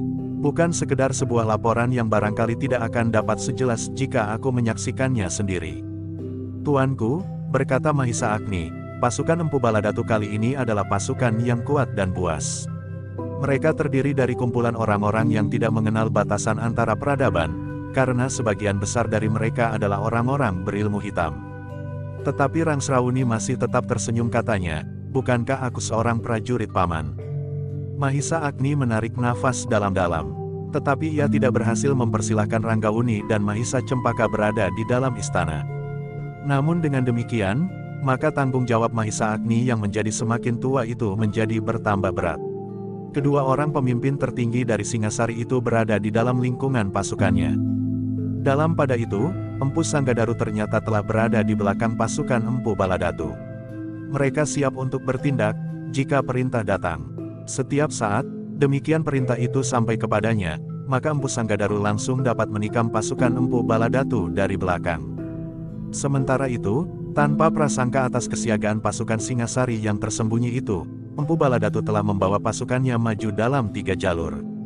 Ternyata Empu Baladatu masih juga berhati-hati. Ia menghentikan pasukannya beberapa ratus langkah dari pintu gerbang. Sejenak Empu Baladatu mengawasi pasukan-pasukan yang mulai menjadi terang. Ia sudah menerima laporan, bahwa di padukuhan itu tidak ada rintangan yang pantas diperhitungkan.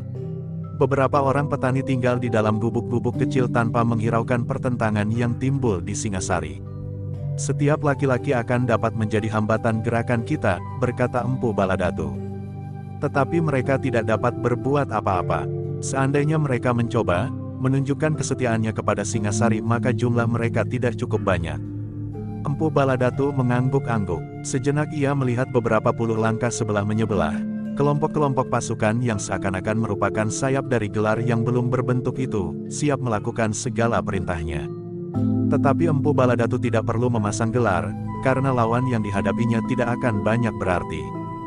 Sejenak kemudian, maka Empu Baladatu pun telah memerintahkan pasukan kecilnya untuk mendahului pasukannya dalam keseluruhan. Pasukan kecil itu akan melalui jalan yang akan dilewati oleh pasukan induk yang dipimpin langsung oleh Empu Baladatu. Namun agaknya, para pengawas dari Singasari telah melihatnya, sehingga mereka pun segera melaporkannya kepada setiap pemimpin pasukan di padukuhan-padukuhan tertentu. Pengawas-pengawas itu pun memberikan laporan terperinci tentang gerakan pasukan Empu Baladatu yang menjadi tiga kelompok yang terpisah. Menurut perintah, maka setiap kelompok pasukan harus menyesuaikan diri. Pertempuran tentu akan segera pecah.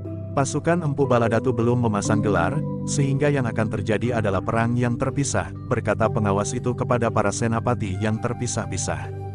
Kita akan bertempur dalam perang berubuh, berkata salah seorang senapati. Dengan demikian maka kita harus mempercayakan setiap tingkah laku di medan atas dasar kepercayaan kepada diri sendiri. Demikianlah agaknya yang akan terjadi. Sepeninggal pengawas itu, maka setiap senapati memberikan beberapa keterangan singkat kepada setiap pemimpin kelompok. Masing-masing diri, berusaha untuk menjaga keselamatan diri sendiri, karena yang akan terjadi adalah perang berubuh. Jumlah pasukan gabungan yang dipimpin oleh Empu Baladatu itu cukup banyak. Kita harus berhati-hati dan memperhatikan setiap keadaan yang berkembang, berkata seorang senapati kepada pemimpin kelompok di dalam pasukannya. Dalam pada itu, Mahisa Murti dan Mahisa Pukat telah mempersiapkan diri. Rasa-rasanya tidak sabar menunggu perintah untuk menyergap pasukan Empu Baladatu. Dari kejauhan keduanya telah melihat, pasukan yang datang mendekati pintu gerbang. Pasukan itu adalah sayap sebelah kanan dari pasukan Empu Baladatu, berkata Mahisa Pukat. Kita akan bertempur di sayap kanan. Siapakah yang berada di induk pasukan? Bertanya Mahisa Murti. Kakang Mahisa Bungalan, kenapa kita tidak ikut Kakang, Mahisa Bungalan saja? Mahisa Pukat mengerutkan keningnya. Katanya, sebenarnya kita lebih senang berada di dalam pasukan Kakang Mahisa Bungalan kita akan berada di induk pasukan dan bertempur melawan induk pasukan lawan. Mereka terkejut ketika mereka mendengar suara di belakangnya, tetapi Senapati besar. Mahisa Agni memerintahkan kalian berdua di sini. Mahisa Pukat dan Mahisa Murti mengerutkan keningnya. Tetapi mereka tidak menjawab, sementara Senapati itu meneruskan sambil tersenyum, aku kira tidak ada bedanya. Bertempur di sayap atau di induk pasukan, kita akan melakukan perang berubuh. Karena itu kau berdua harus berhati-hati. Kita masing-masing tidak akan dapat mempercayakan diri pada kerjasama di antara setiap orang di dalam pasukan kita. Karena pertempuran akan menjadi kacau dan bercampur baur. Kita hanya dapat mengenal ciri-ciri dan sekedar memberikan tekanan pada titik-titik tertentu di mana kita bertempur. Memang mungkin hal itu akan berakibat memberikan bantuan kepada kawan kita. Namun dalam hal tertentu kita akan terpisah dan bertempur dengan kekuatan sendiri. Tetapi itu bukan berarti bahwa apabila ada kesempatan kita akan tetap membiarkan seorang kawan kita mengalami kesulitan. Mahisa Pukat dan Mahisa Murti mengangguk-angguk. Mereka sadar bahwa perang yang akan mereka hadapi adalah perang yang sangat ribut. Dalam pada itu, pasukan kecil yang dikirim Empu Baladatu telah mendekati gerbang. Prajurit yang ada di sebuah padukuhan yang dilalui oleh sekelompok kecil itu sengaja membiarkan mereka lewat tanpa gangguan. Bahkan sebagian besar dari prajurit yang ada di padukuhan itu bersembunyi di balik dinding-dinding batu halaman. Empu Baladatu tetap berhati-hati, desis senapati yang ada di padukuhan itu. Tetapi kemudian, namun ia akan terkejut jika induk pasukannya akan menghadapi pasukan yang tidak tergoyahkan. Mahisa Bungalan yang ada di padukuhan itu pula, mengangguk-angguk. Katanya, pasukan kecil itu tidak akan pernah bertemu lagi dengan induk pasukannya. Seperti yang dikatakan oleh Mahisa Bungalan, maka di padukuhan yang cukup besar, mendekati gerbang kota, maka pasukan Singasari tidak membiarkan mereka lewat. Meskipun mereka tidak langsung menyergapnya, namun seorang penghubung telah memberikan isyarat kepada prajurit yang berada di pintu gerbang untuk bersiap-siap menghadapi segala kemungkinan. Pasukan kecil itu melalui padukuhan demi padukuhan dengan tanpa gangguan. Mereka mendengar isyarat yang dilontarkan dari padukuhan yang baru saja mereka lewati. Pasukan kecil itu termangu-mangu sejenak, ketika mereka melihat pintu gerbang masih terbuka. Agaknya setelah mendengar isyarat itu, barulah beberapa orang berusaha untuk dengan tergesa-gesa menutupnya. Tetapi gerakan prajurit-prajurit Singasari terlalu lamban. Masih ada beberapa orang yang berada di luar, sehingga mereka masih harus menunggu. Kita akan mencegahnya, berkata pemimpin kelompok kecil yang dikirim oleh Empu Baladatu. Lalu, Lontarkan isyarat agar Empu Baladatu menyerang. Kita akan berusaha mencegah gerbang itu ditutup dan diselarak dengan sebatang kayu yang besar. Dengan demikian pasukan kita akan dengan mudah memasuki gerbang kota raja. Dengan demikian, maka pasukan kecil itu pun telah berlari langsung menuju ke pintu gerbang, sementara seorang di antara mereka telah membunyikan isyarat. Sebuah kentongan kecil yang melengking-melengking. Suara kentongan kecil itu ternyata melengking terdengar sampai ke tempat yang jauh. Apalagi ternyata bahwa ada penghubung yang ada di antara pasukan kecil itu dengan induk pasukan yang dapat menyambung isyarat itu dengan suara kentongan pula. Para prajurit Singasari sengaja telah membiarkan suara itu bersambung, agar terdengar oleh induk pasukan Empu Baladatu.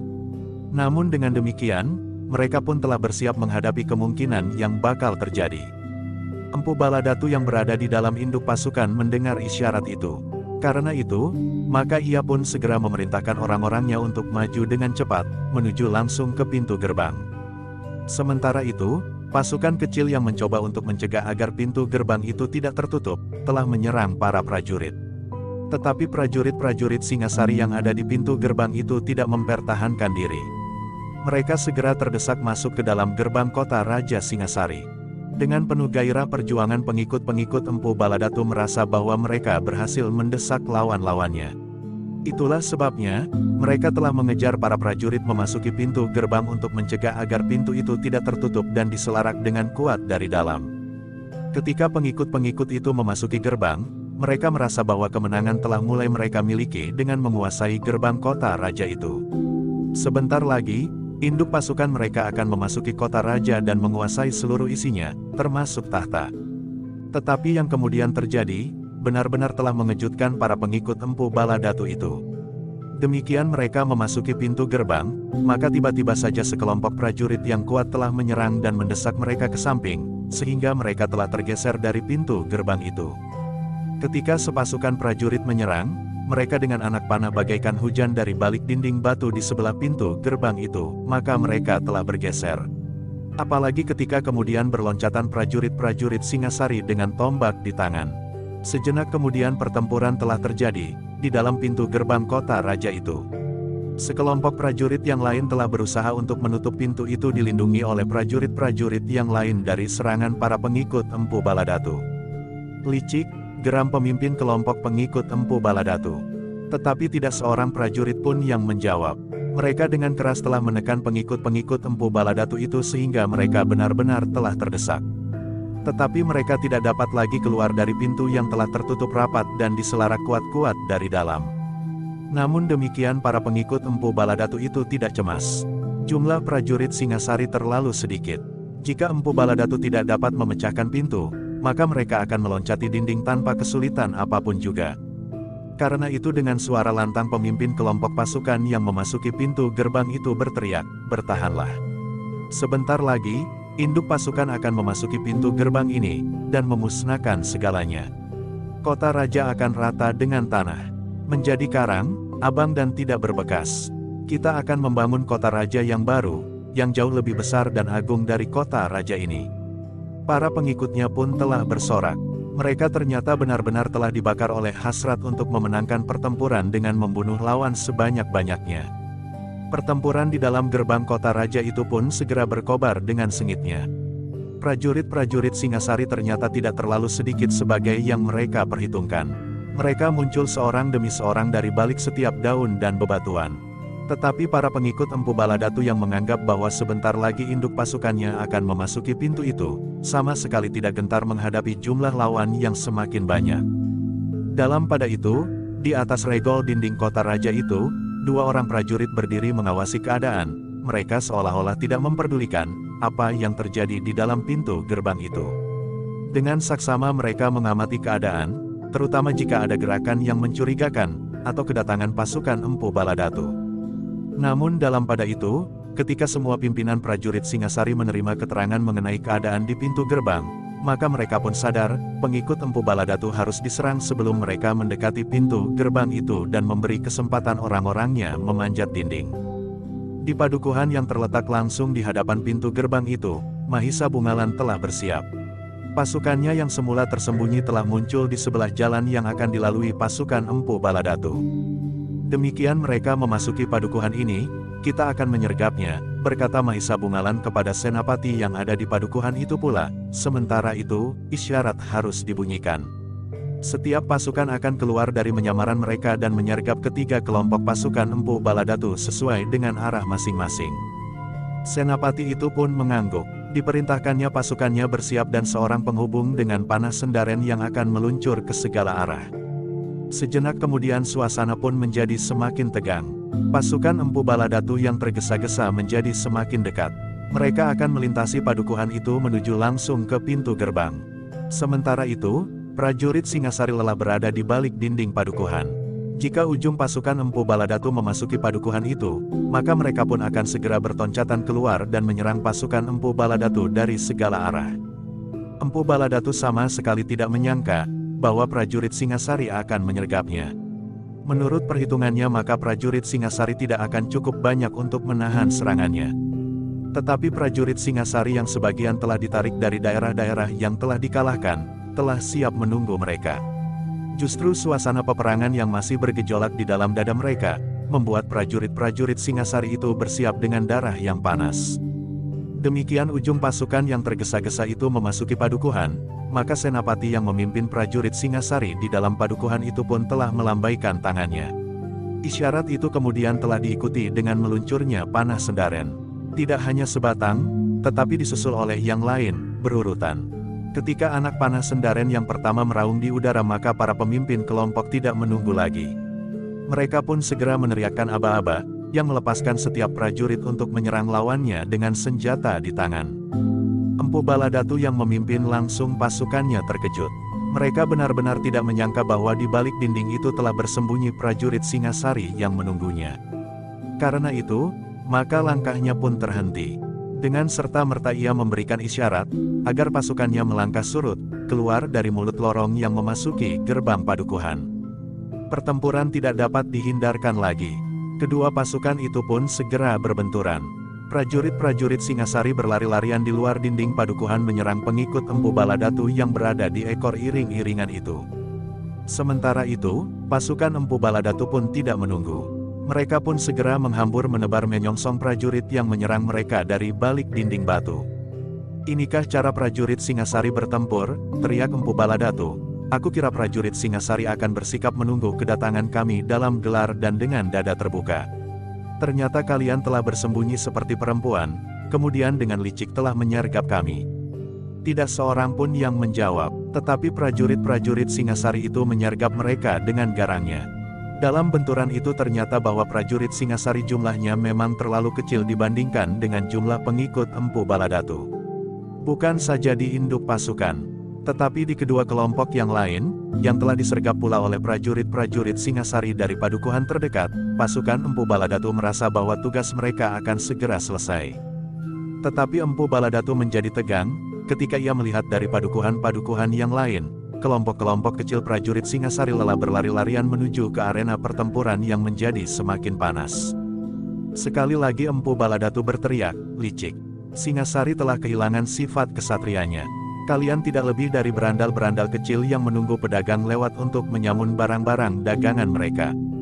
Prajurit-prajurit Singasari tidak menjawab. Tetapi kata-kata Empu Baladatu itu telah membuat darah mereka menjadi semakin panas. Mahisa Bungalan yang berada di induk pasukan masih berdiri termangu-mangu. Ia sadar, bahwa Empu Baladatu adalah orang yang memiliki kelebihan dari orang-orang kebanyakan. Apalagi karena dasar ilmu hitamnya, maka Empu Baladatu adalah orang yang sangat berbahaya. Karena itu, maka ia merasa mempunyai kewajiban untuk berbuat sesuatu, agar Empu Baladatu tidak dengan garang menghancurkan pasukan Singasari. Ia merasa ikut bertanggung jawab, bahwa keganasan Empu Baladatu itu harus dicegah. Dengan demikian, maka Mahisa Bungalan pun telah mempersiapkan diri untuk berhadapan dengan pemimpin tertinggi dari mereka yang menganut ilmu hitam dan yang telah terpengaruh olehnya dengan harapan yang disangkanya dapat memberikan kemukten di masa depan. Dalam pada itu, kelompok-kelompok yang dipersiapkan sebagai sayap pasukan jika mereka harus memasang gelar, telah terlibat pula dalam pertempuran melawan prajurit Singasari. Mahisa Pukat dan Mahisa Murti yang tidak sabar lagi menunggu, telah berlari-lari demikian mereka mendengar isyarat. Berhati-hatilah, Senapati yang berada di dalam kelompoknya mencoba memperingatkannya.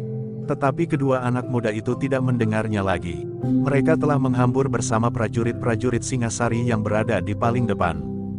Di bagian lain, Lembu Ampal menghadapi keadaan dengan tenang. Ia tidak terlalu tergesa-gesa.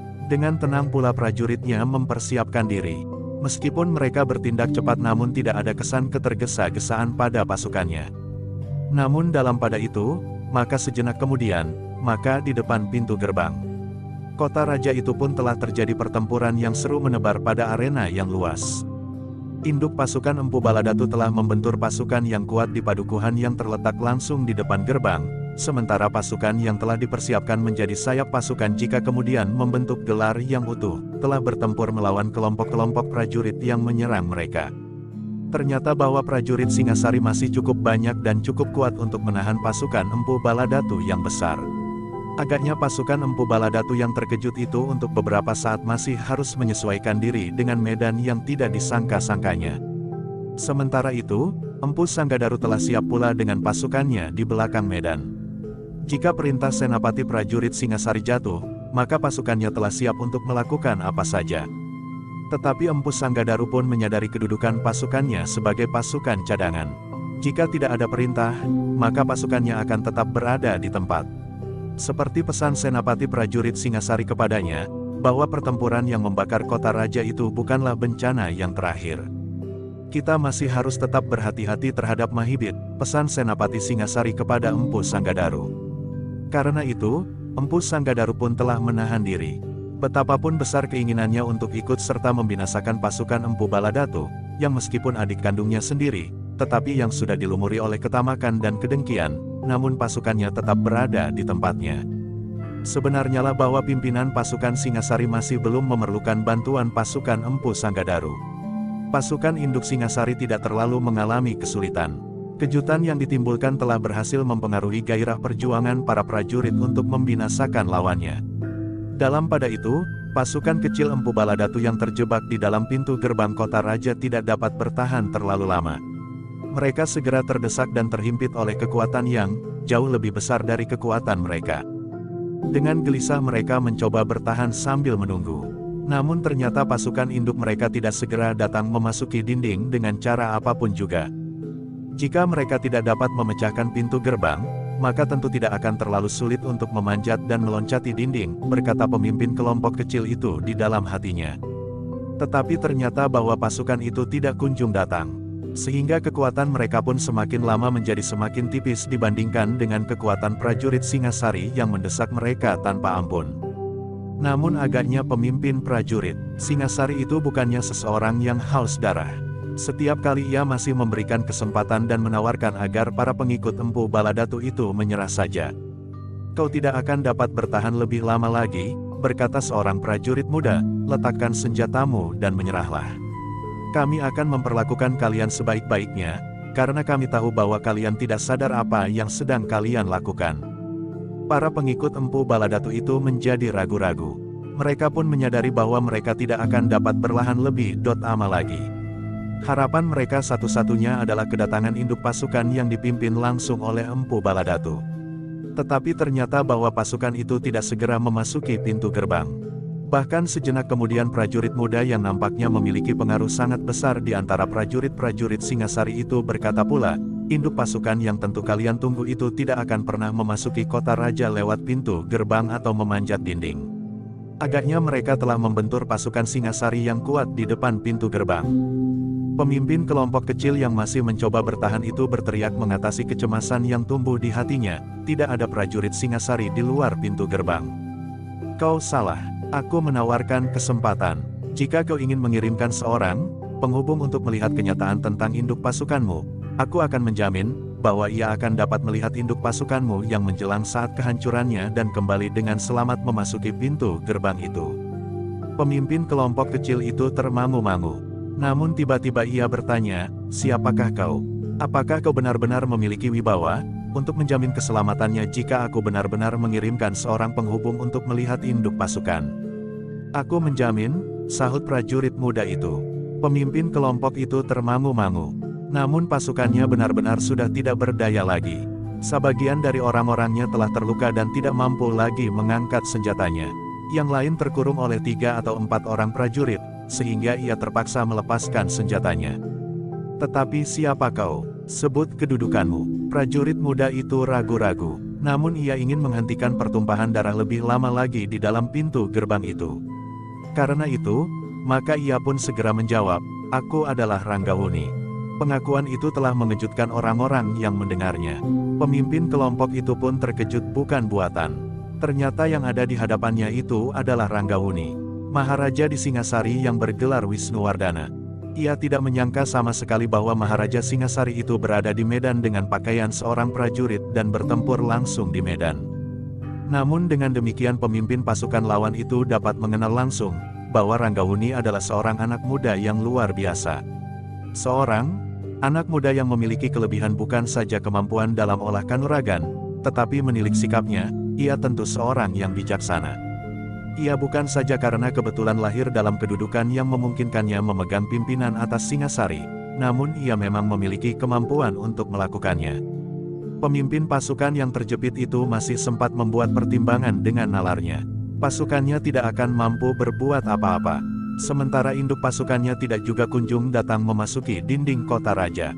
Aku menawarkan kesempatan itu sekali lagi, berkata Ranggawuni. Pemimpin pasukan pengikut Empu Baladatu yang ada di dalam regol dinding kota raja itu benar-benar telah tersudut ke dalam suatu kenyataan, jika ia tidak menyerah, maka akhirnya pasukannya akan hancur mungkin terbunuh atau terluka parah tanpa tersisa seorang pun. Karena itu, maka tiba-tiba saja pemimpin pasukan itu pun melemparkan senjatanya. Pengaruh kehadiran Ranggauni dan menawarkan kesempatan langsung di medan peperangan itu telah menimbulkan kepercayaannya, bahwa Maharaja Singasari itu tentu akan bertindak bijaksana. Hamba menyerah tuanku, berkata pemimpin pasukan itu, hamba mohon ampun. Ranggauni termangu-mangu sejenak. Ia menunggu sikap dari para pengikut Empu Baladatu yang lain. Ternyata bahwa sebagian dari mereka pun tidak lagi dapat mengingkari kenyataan, bahwa mereka tidak akan dapat melepaskan diri dari ujung senjata prajurit Singasari jika mereka berkeras untuk tetap melawan. Sesaat kemudian Ranggauni pun memberikan isyarat kepada para prajurit untuk menghentikan pertempuran. Ternyata bahwa pasukan yang memasuki regol itu benar-benar sudah tidak berdaya. Satu-satu mereka melepaskan senjata mereka dan menyerahkan diri untuk diperlakukan apa pun juga. Tetapi ternyata bahwa prajurit Singasari bukannya orang-orang yang buas seperti yang pernah mereka bayangkan. Prajurit-prajurit Singasari dengan patuh melakukan segala perintah senapatinya. Juga perlakuan atas para tawanan itu pun dilandasi pada sikap dan ketentuan yang ada di dalam lingkungan keprajuritan Singasari. Dalam waktu yang singkat, maka para tawanan itu pun telah dibawa ke tempat yang sudah ditentukan, seolah-olah Singasari memang sudah menyediakan tempat untuk menampung lawan yang akan tertawan. Beberapa orang prajurit pun segera ditugaskan untuk menjaga mereka dengan ketat, sementara yang lain segera menempatkan diri pada tugas-tugas yang baru sesuai dengan perkembangan keadaan.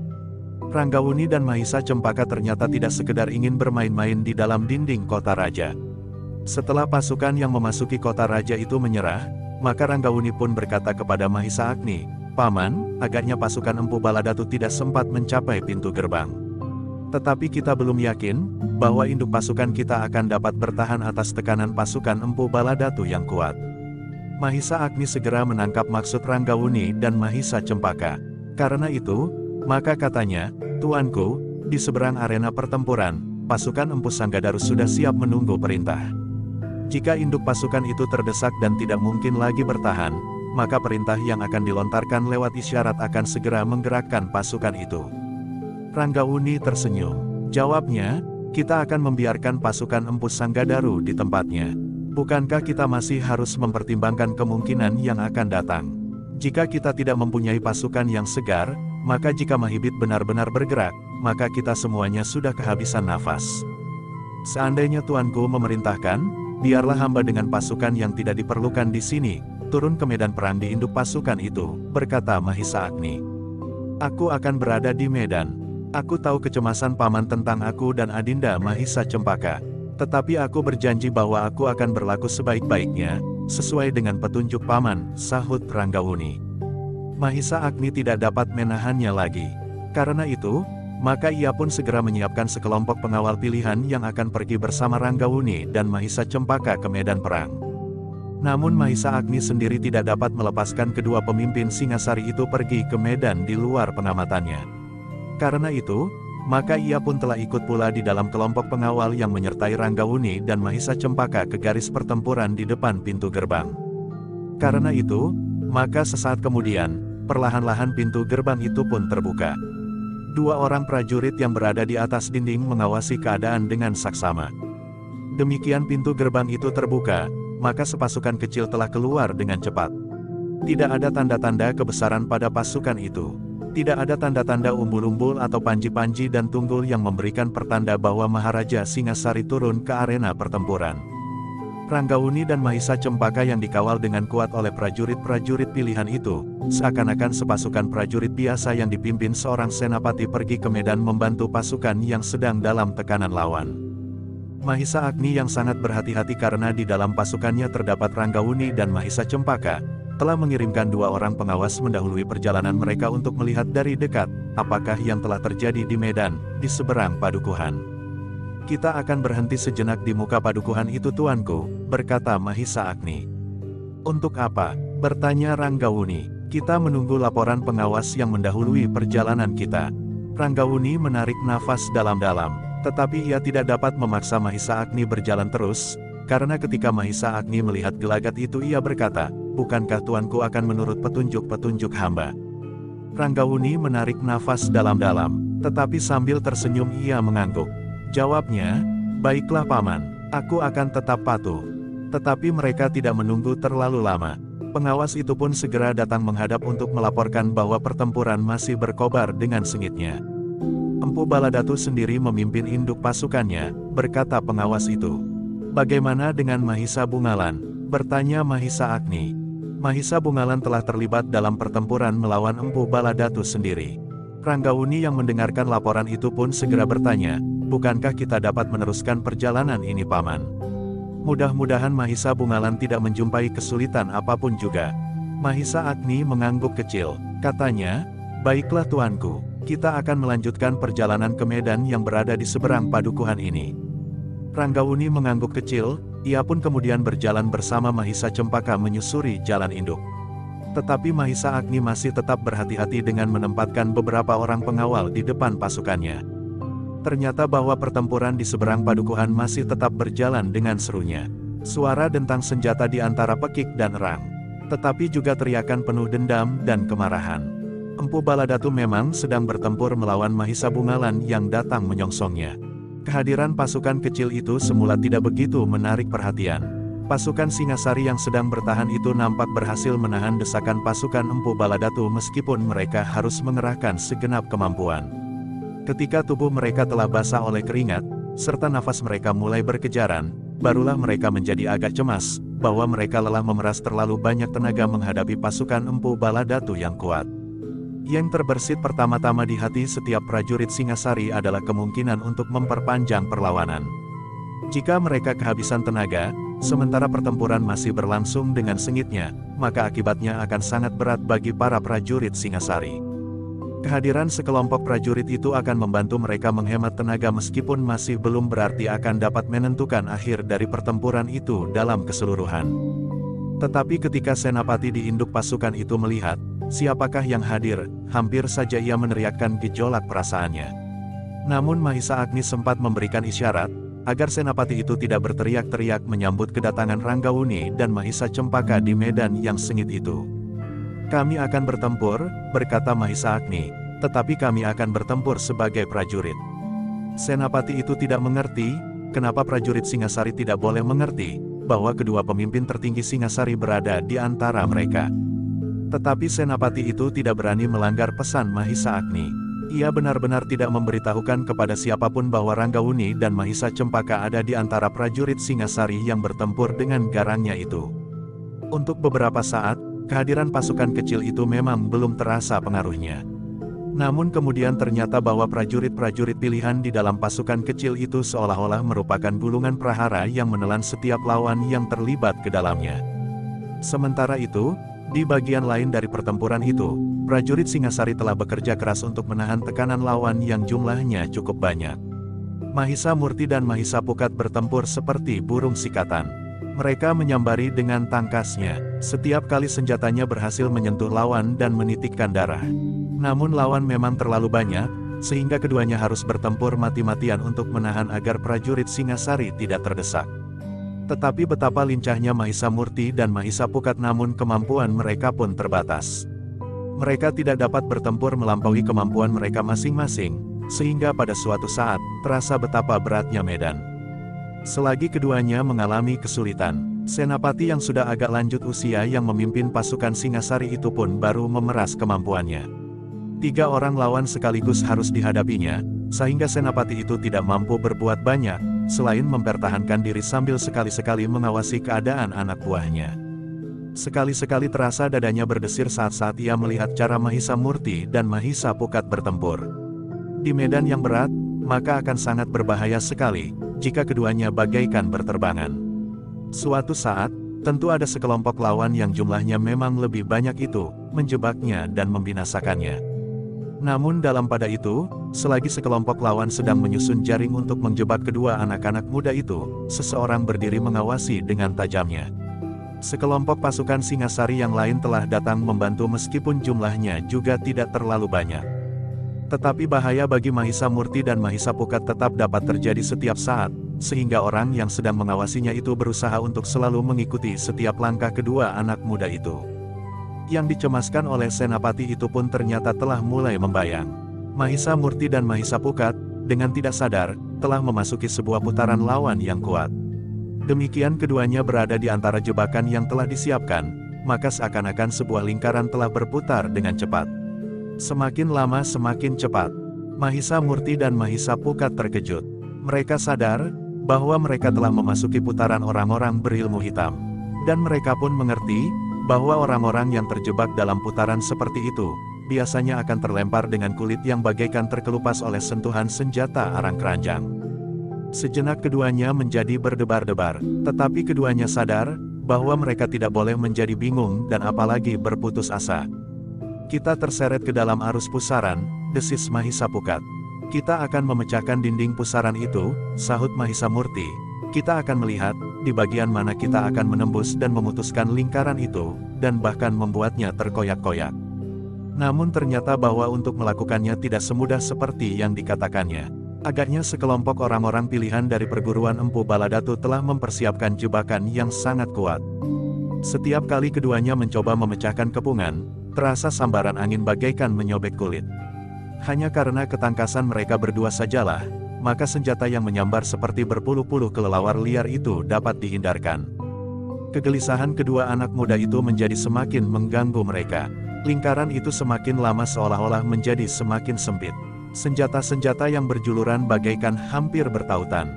Gila, geram Mahisa Murti, kita harus membuat kejutan yang dapat menarik perhatian mereka untuk sesaat, sebelum kita berbuat sesuatu. Mahisa Pukat diam saja, ia sedang memikirkan kemungkinan itu. Tetapi medan bagi mereka berdua menjadi terlalu sempit. Ternyata bahwa orang-orang berilmu hitam itu yakin, akan dapat menghancurkan kedua anak muda yang luar biasa, yang telah mengoyak pasukan pengikut Empu Baladatu dengan ilmunya yang mengagumkan. Namun setelah beberapa orang terpilih menjebaknya, maka keduanya benar-benar dalam kesulitan. Senapati yang memimpin pasukan Singasari itu melihat kesulitan kedua anak muda itu. Karena itu, maka ia pun segera meneriakkan aba-aba, karena ia sendiri tidak dapat berbuat banyak. Beberapa orang prajurit yang mendengar aba-aba itu pun telah berusaha mendekati kedua anak muda itu. Tetapi rasa-rasanya lawan bertebaran di segala tempat, sehingga mereka merasa sulit untuk melangkah maju. Ujung senjata teracu-acu di segala tempat, dan maut bagaikan mengintai setiap saat. Mahisa Murti dan Mahisa Pukat benar-benar berada dalam kesulitan. Putaran di sekelilingnya menjadi bertambah rapat.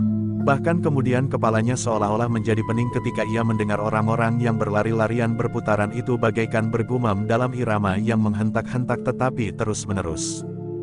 Gila, ilmu ini ilmu iblis, tiba-tiba saja Mahisa Pukat berteriak. Yang terdengar adalah suara tertawa.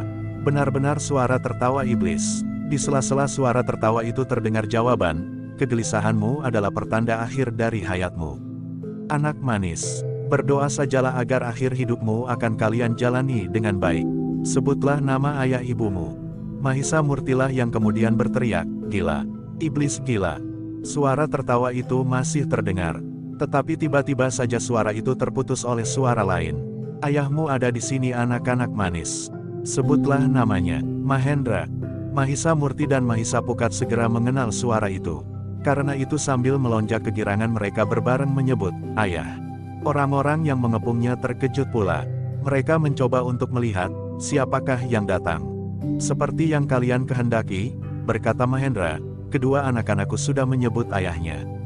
Tetapi jangan mimpi untuk membunuh keduanya. Meskipun mereka anak nakal, tetapi bagi ayahnya, keduanya adalah mutiara yang tidak ternilai harganya. Karena itu, dalam keadaan yang paling gawat seperti sekarang, aku akan mempertahankan kedua anak-anakku. Persetan, geram salah seorang dari mereka yang mengepung Mahisa Murti dan Mahisa Pukat, kau pun akan kami bunuh sama sekali. Jika kalian ingin mencoba, baiklah. Aku akan memasuki lingkaran kalian. Lingkaran yang tidak berputar lagi karena kejutan itu, bergerak selangkah. Tiba-tiba saja pemimpinnya berkata kasar, masuklah Mahendra. Kami akan mencincangmu menjadi bangkai.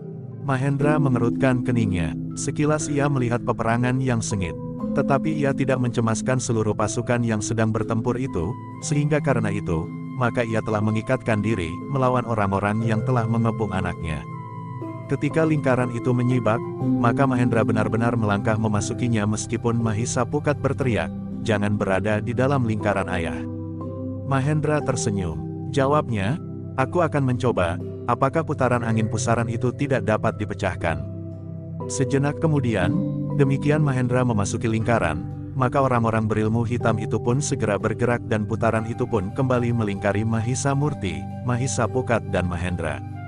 Lingkaran itu berbahaya sekali ayah, desis Mahisa Murti. Ya, memang berbahaya sekali. Karena itu, kita bertiga memang harus berhati-hati, jawab Mahendra.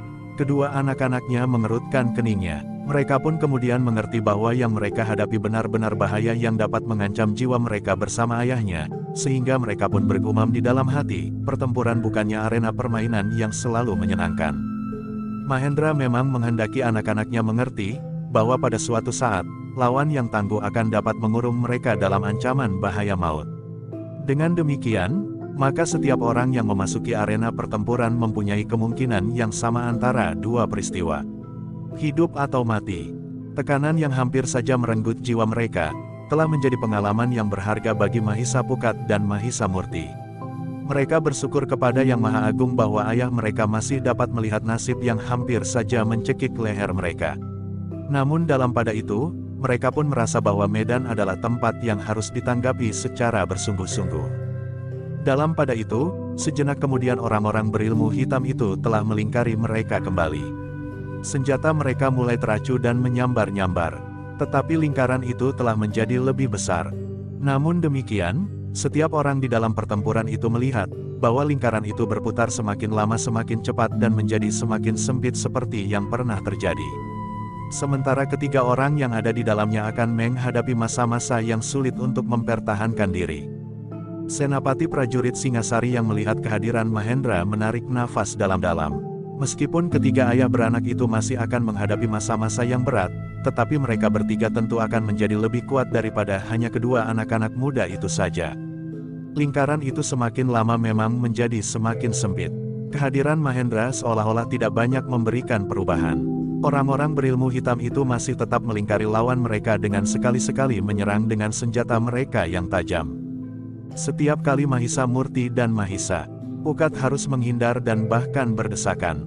Mereka tidak dapat meloncat surut, karena di bagian punggung, mereka, senjata pun siap menyobek kulit mereka dari belakang, karena lawan berada dalam putaran. Mahendra nampaknya tidak berbuat banyak menghadapi putaran itu. Ia masih seperti juga kedua anak-anaknya, bergeser dan beringsut. Namun Mahendra adalah orang yang luar biasa. Ia memiliki ilmu yang hampir sempurna.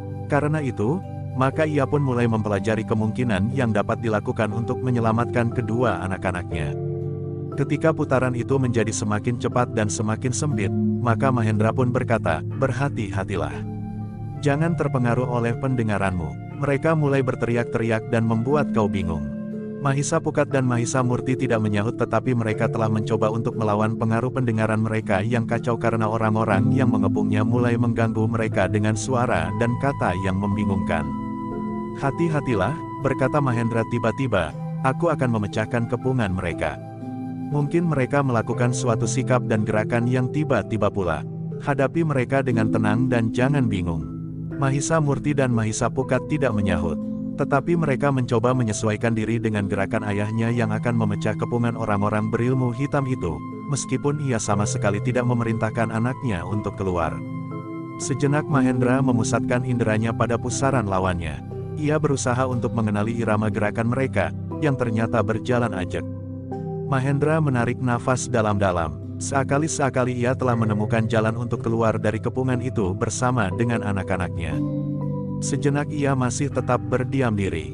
Ia hanya bergeser setapak-setapak jika senjata lawan-lawannya menyambarnya.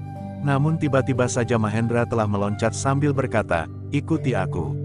Hati-hati, serangan itu akan tetap mengarah ke tubuhmu. Tetapi jika kita berhasil, maka lawan kita hanyalah seorang dari antara mereka. Kedua anaknya telah mengikutinya, ketiganya telah menyusun suatu lingkaran kecil yang berputar seirama dengan putaran lawannya. Mahisa Murti dan Mahisa Pukat mengerti maksud ayahnya. Mereka telah memiliki lawan masing-masing dalam putaran itu, sehingga justru kedua anak muda itulah yang mengejar lawannya yang berada di dalam lingkaran, sehingga dengan demikian maka seakan-akan mereka telah bertempur sambil berlari-lari. Orang-orang berilmu hitam di dalam putaran itu terkejut melihat gerakan ketiga orang yang berada di dalam lingkaran. Mereka tidak dapat menyerang berurutan dan membuat ketiganya bingung, karena ketiganya ikut pula berlari dengan telah memilih seorang lawan.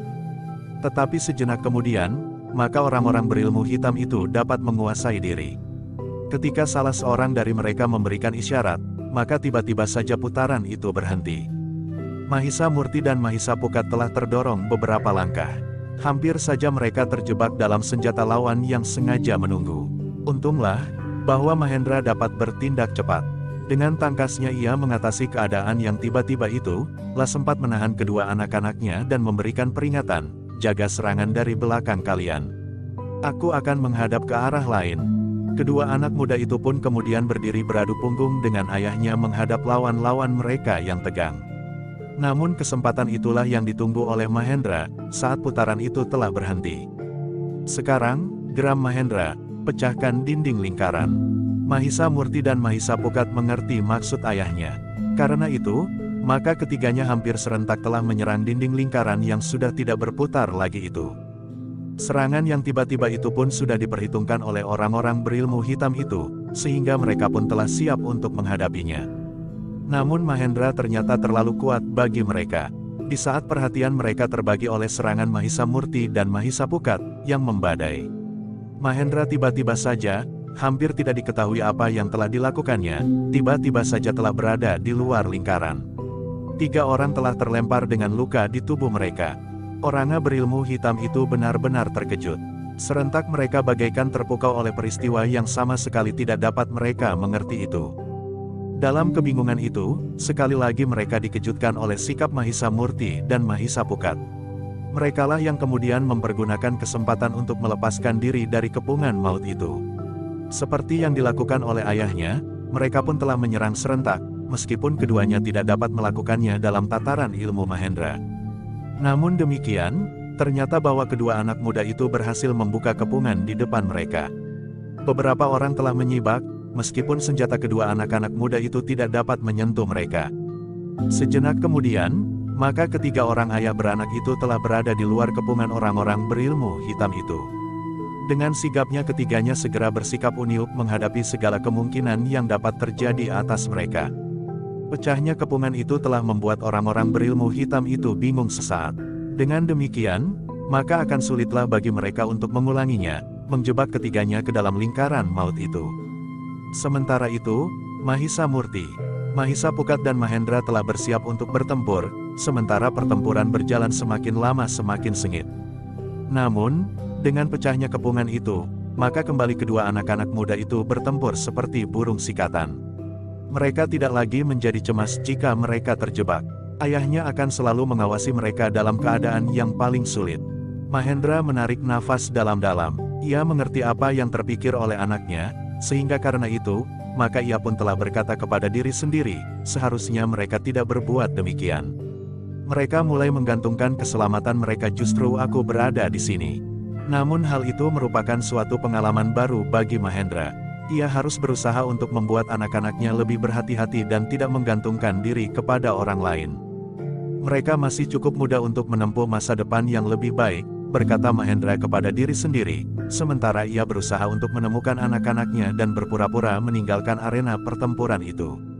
Untuk beberapa saat Mahendra masih berada di dalam kancah peperangan. Namun kemudian ketika nampak olehnya Mahisa Pukat dan Mahisa Murti bersama menghalau beberapa orang lawan, maka Mahendra pun mendekatinya sambil berbisik, hati-hatilah aku akan melihat pertempuran di induk pasukan. Mahisa Pukat dan Mahisa Murti terkejut. Dengan serta-merta Mahisa Pukat bertanya, kenapa ayah pergi? Bukankah pertempuran di sini masih cukup sengit? Di sini ada senapati itu. Ia sudah terlalu tua, jawab Mahisa Pukat. Ada kau ada Murti, kami masih terlalu muda, sahut Mahisa Murti. Justru ada yang tua ada yang muda.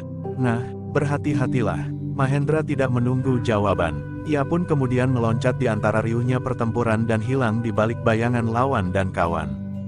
Mahisa Pukat dan Mahisa Murti termangu-mangu sejenak. Namun mereka pun kemudian menjadi semakin berhati-hati. Ayahnya tidak ada lagi di antara mereka, sehingga jika terjadi sesuatu tidak ada lagi yang dapat membantu. Tetapi memang sikap itulah yang dikehendaki oleh Mahendra. Dengan demikian ia mengharap bahwa anaknya tidak lagi menggantungkan diri kepada perlindungan orang lain, meskipun dengan diam-diam Mahendra masih harus tetap mengawasi. Dalam pada itu, di bagian lain dari arena pertempuran yang menebar semakin luas itu. Lembu Ampal bertempur dengan serunya melawan beberapa orang lawan. Tetapi ia adalah senapati pilihan, sehingga ia sama sekali tidak menjadi gugup meskipun lawannya berada di segala tempat. Beberapa langkah daripadanya, Ternyata Witantra berusaha menghalau lawan-lawannya seperti menghalau ayam yang mengerumuni butiran-butiran nasi. Sekali-sekali mereka berloncatan menjauh jika senjata Witantra berputar. Namun kemudian mereka dengan hati-hati bergeser mendekat. Bahkan satu dua orang mencoba untuk menyerang. Namun mereka pun terhalau lagi beberapa langkah surut jika Witantra bergerak. Pertempuran itu memang agak menjemukan bagi Witantra. Tetapi ia bukan pembunuh yang buas meski di medan perang sekalipun. Meskipun sekali-sekali senjatanya menitikkan darah, dan bahkan memungut nyawa lawannya, namun bukan maksudnya untuk menebas lawannya di medan perang meskipun ia dapat melakukannya. Ia lebih banyak berusaha melindungi kawan-kawan dan hanya jika terpaksa dan bahkan kadang-kadang di luar kehendaknya sendiri, senjatanya mematuk jantung. Namun demikian, kehadiran Witantra dan Lembu Ampal benar-benar merupakan hantu yang menakutkan, sehingga lawan mereka pun bergeser menjauhinya. Hanya jika mereka bersama-sama beberapa orang sajalah mereka berani mendekati dan menyerang keduanya. Di induk pasukan, pertempuran berlangsung dengan dahsyatnya. Mahisa Bungalan yang bertempur melawan Empu Baladatu seakan-akan mendapat kesempatan untuk benar mengadu tenaga dan ilmu. Tidak seorang pun yang berusaha untuk mencampurinya, karena mereka tidak ingin hangus tersentuh api pertempuran yang sangat dahsyat itu. Empu Baladatu yang melandasi kemampuan dan tenaganya pada ilmu hitam, bertempur semakin lama menjadi semakin buas. Wajahnya yang tegang dan berkerut-merut itu seolah-olah telah berubah menjadi wajah iblis yang mengerikan. Sikapnya telah berubah semakin liar dan buas, sementara dari mulutnya sekali-sekali meloncat umpatan yang kasar. Namun Mahisa Bungalan sama sekali tidak terpengaruh.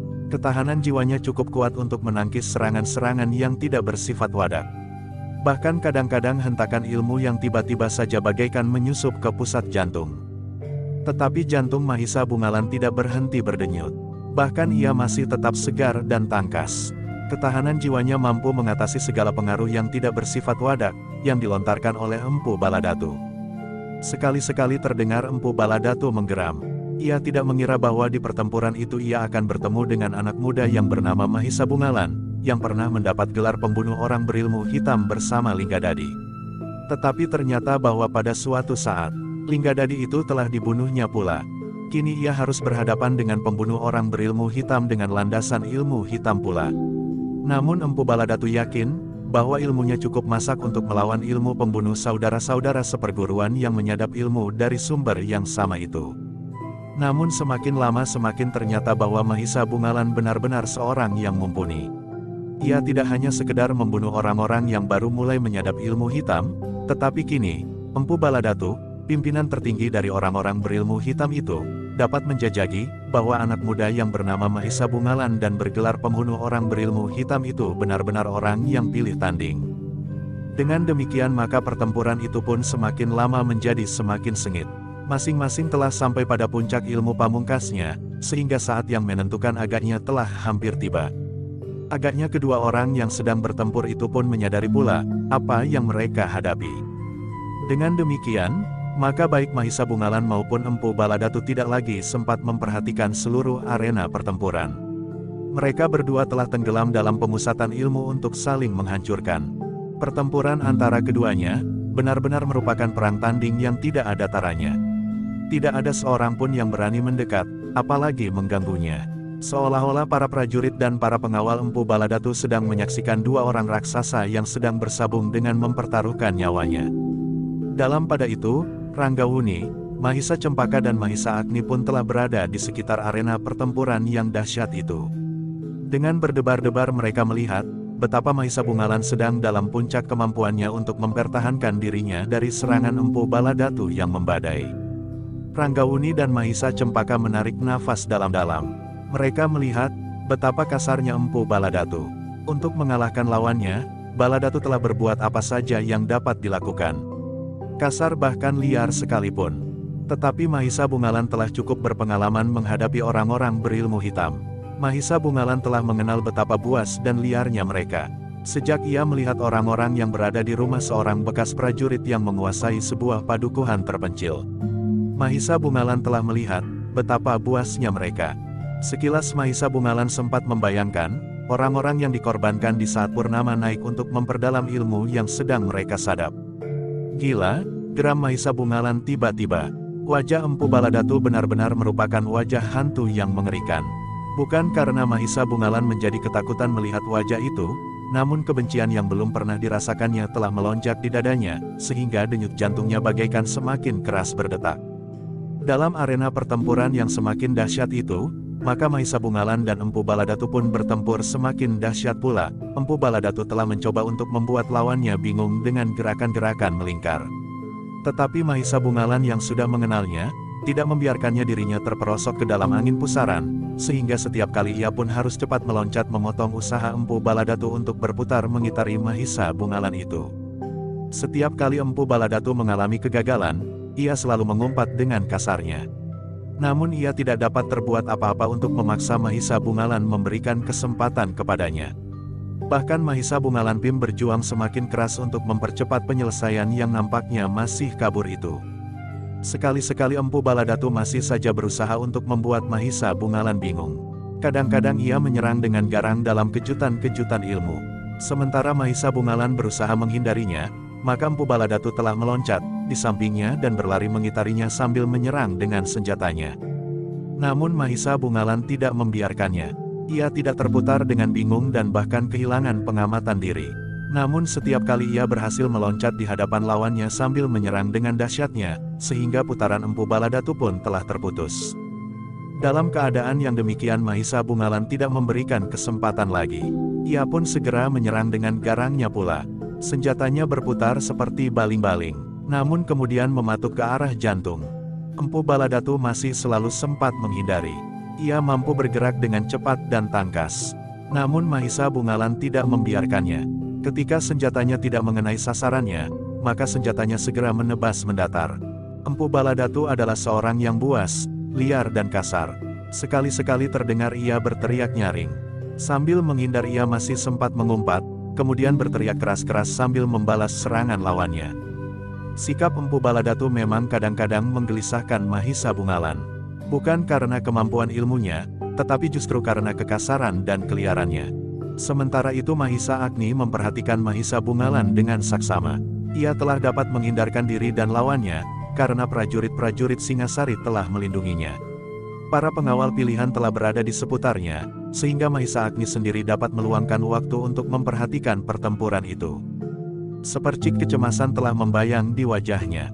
Mahisa Bungalan yang muda itu, kadang-kadang masih saja diburu oleh perasaannya yang kurang terkendali. Jika kemarahannya memuncak karena sikap kasar dan liar Empu Baladatu, maka ia akan menemui kesulitan. Dalam keadaan marah yang tidak terkendali, maka sikap dan perhitungan pun tidak terkendali pula. Mahisa Agni sadar, bahwa Empu Baladatu tidak memperhitungkan sampai sekian jauh. Tetapi tanpa sengaja Empu Baladatu telah memancing kemarahan Mahisa Bungalan, sehingga anak muda itu akan dapat terjerumus ke dalam keadaan yang gawat dan tidak berperhitungkan. Namun Mahisa Agni tidak ingin mengganggunya dalam pemusatan ilmunya melawan pimpinan ilmu hitam itu. Bersambung ke jilid 36.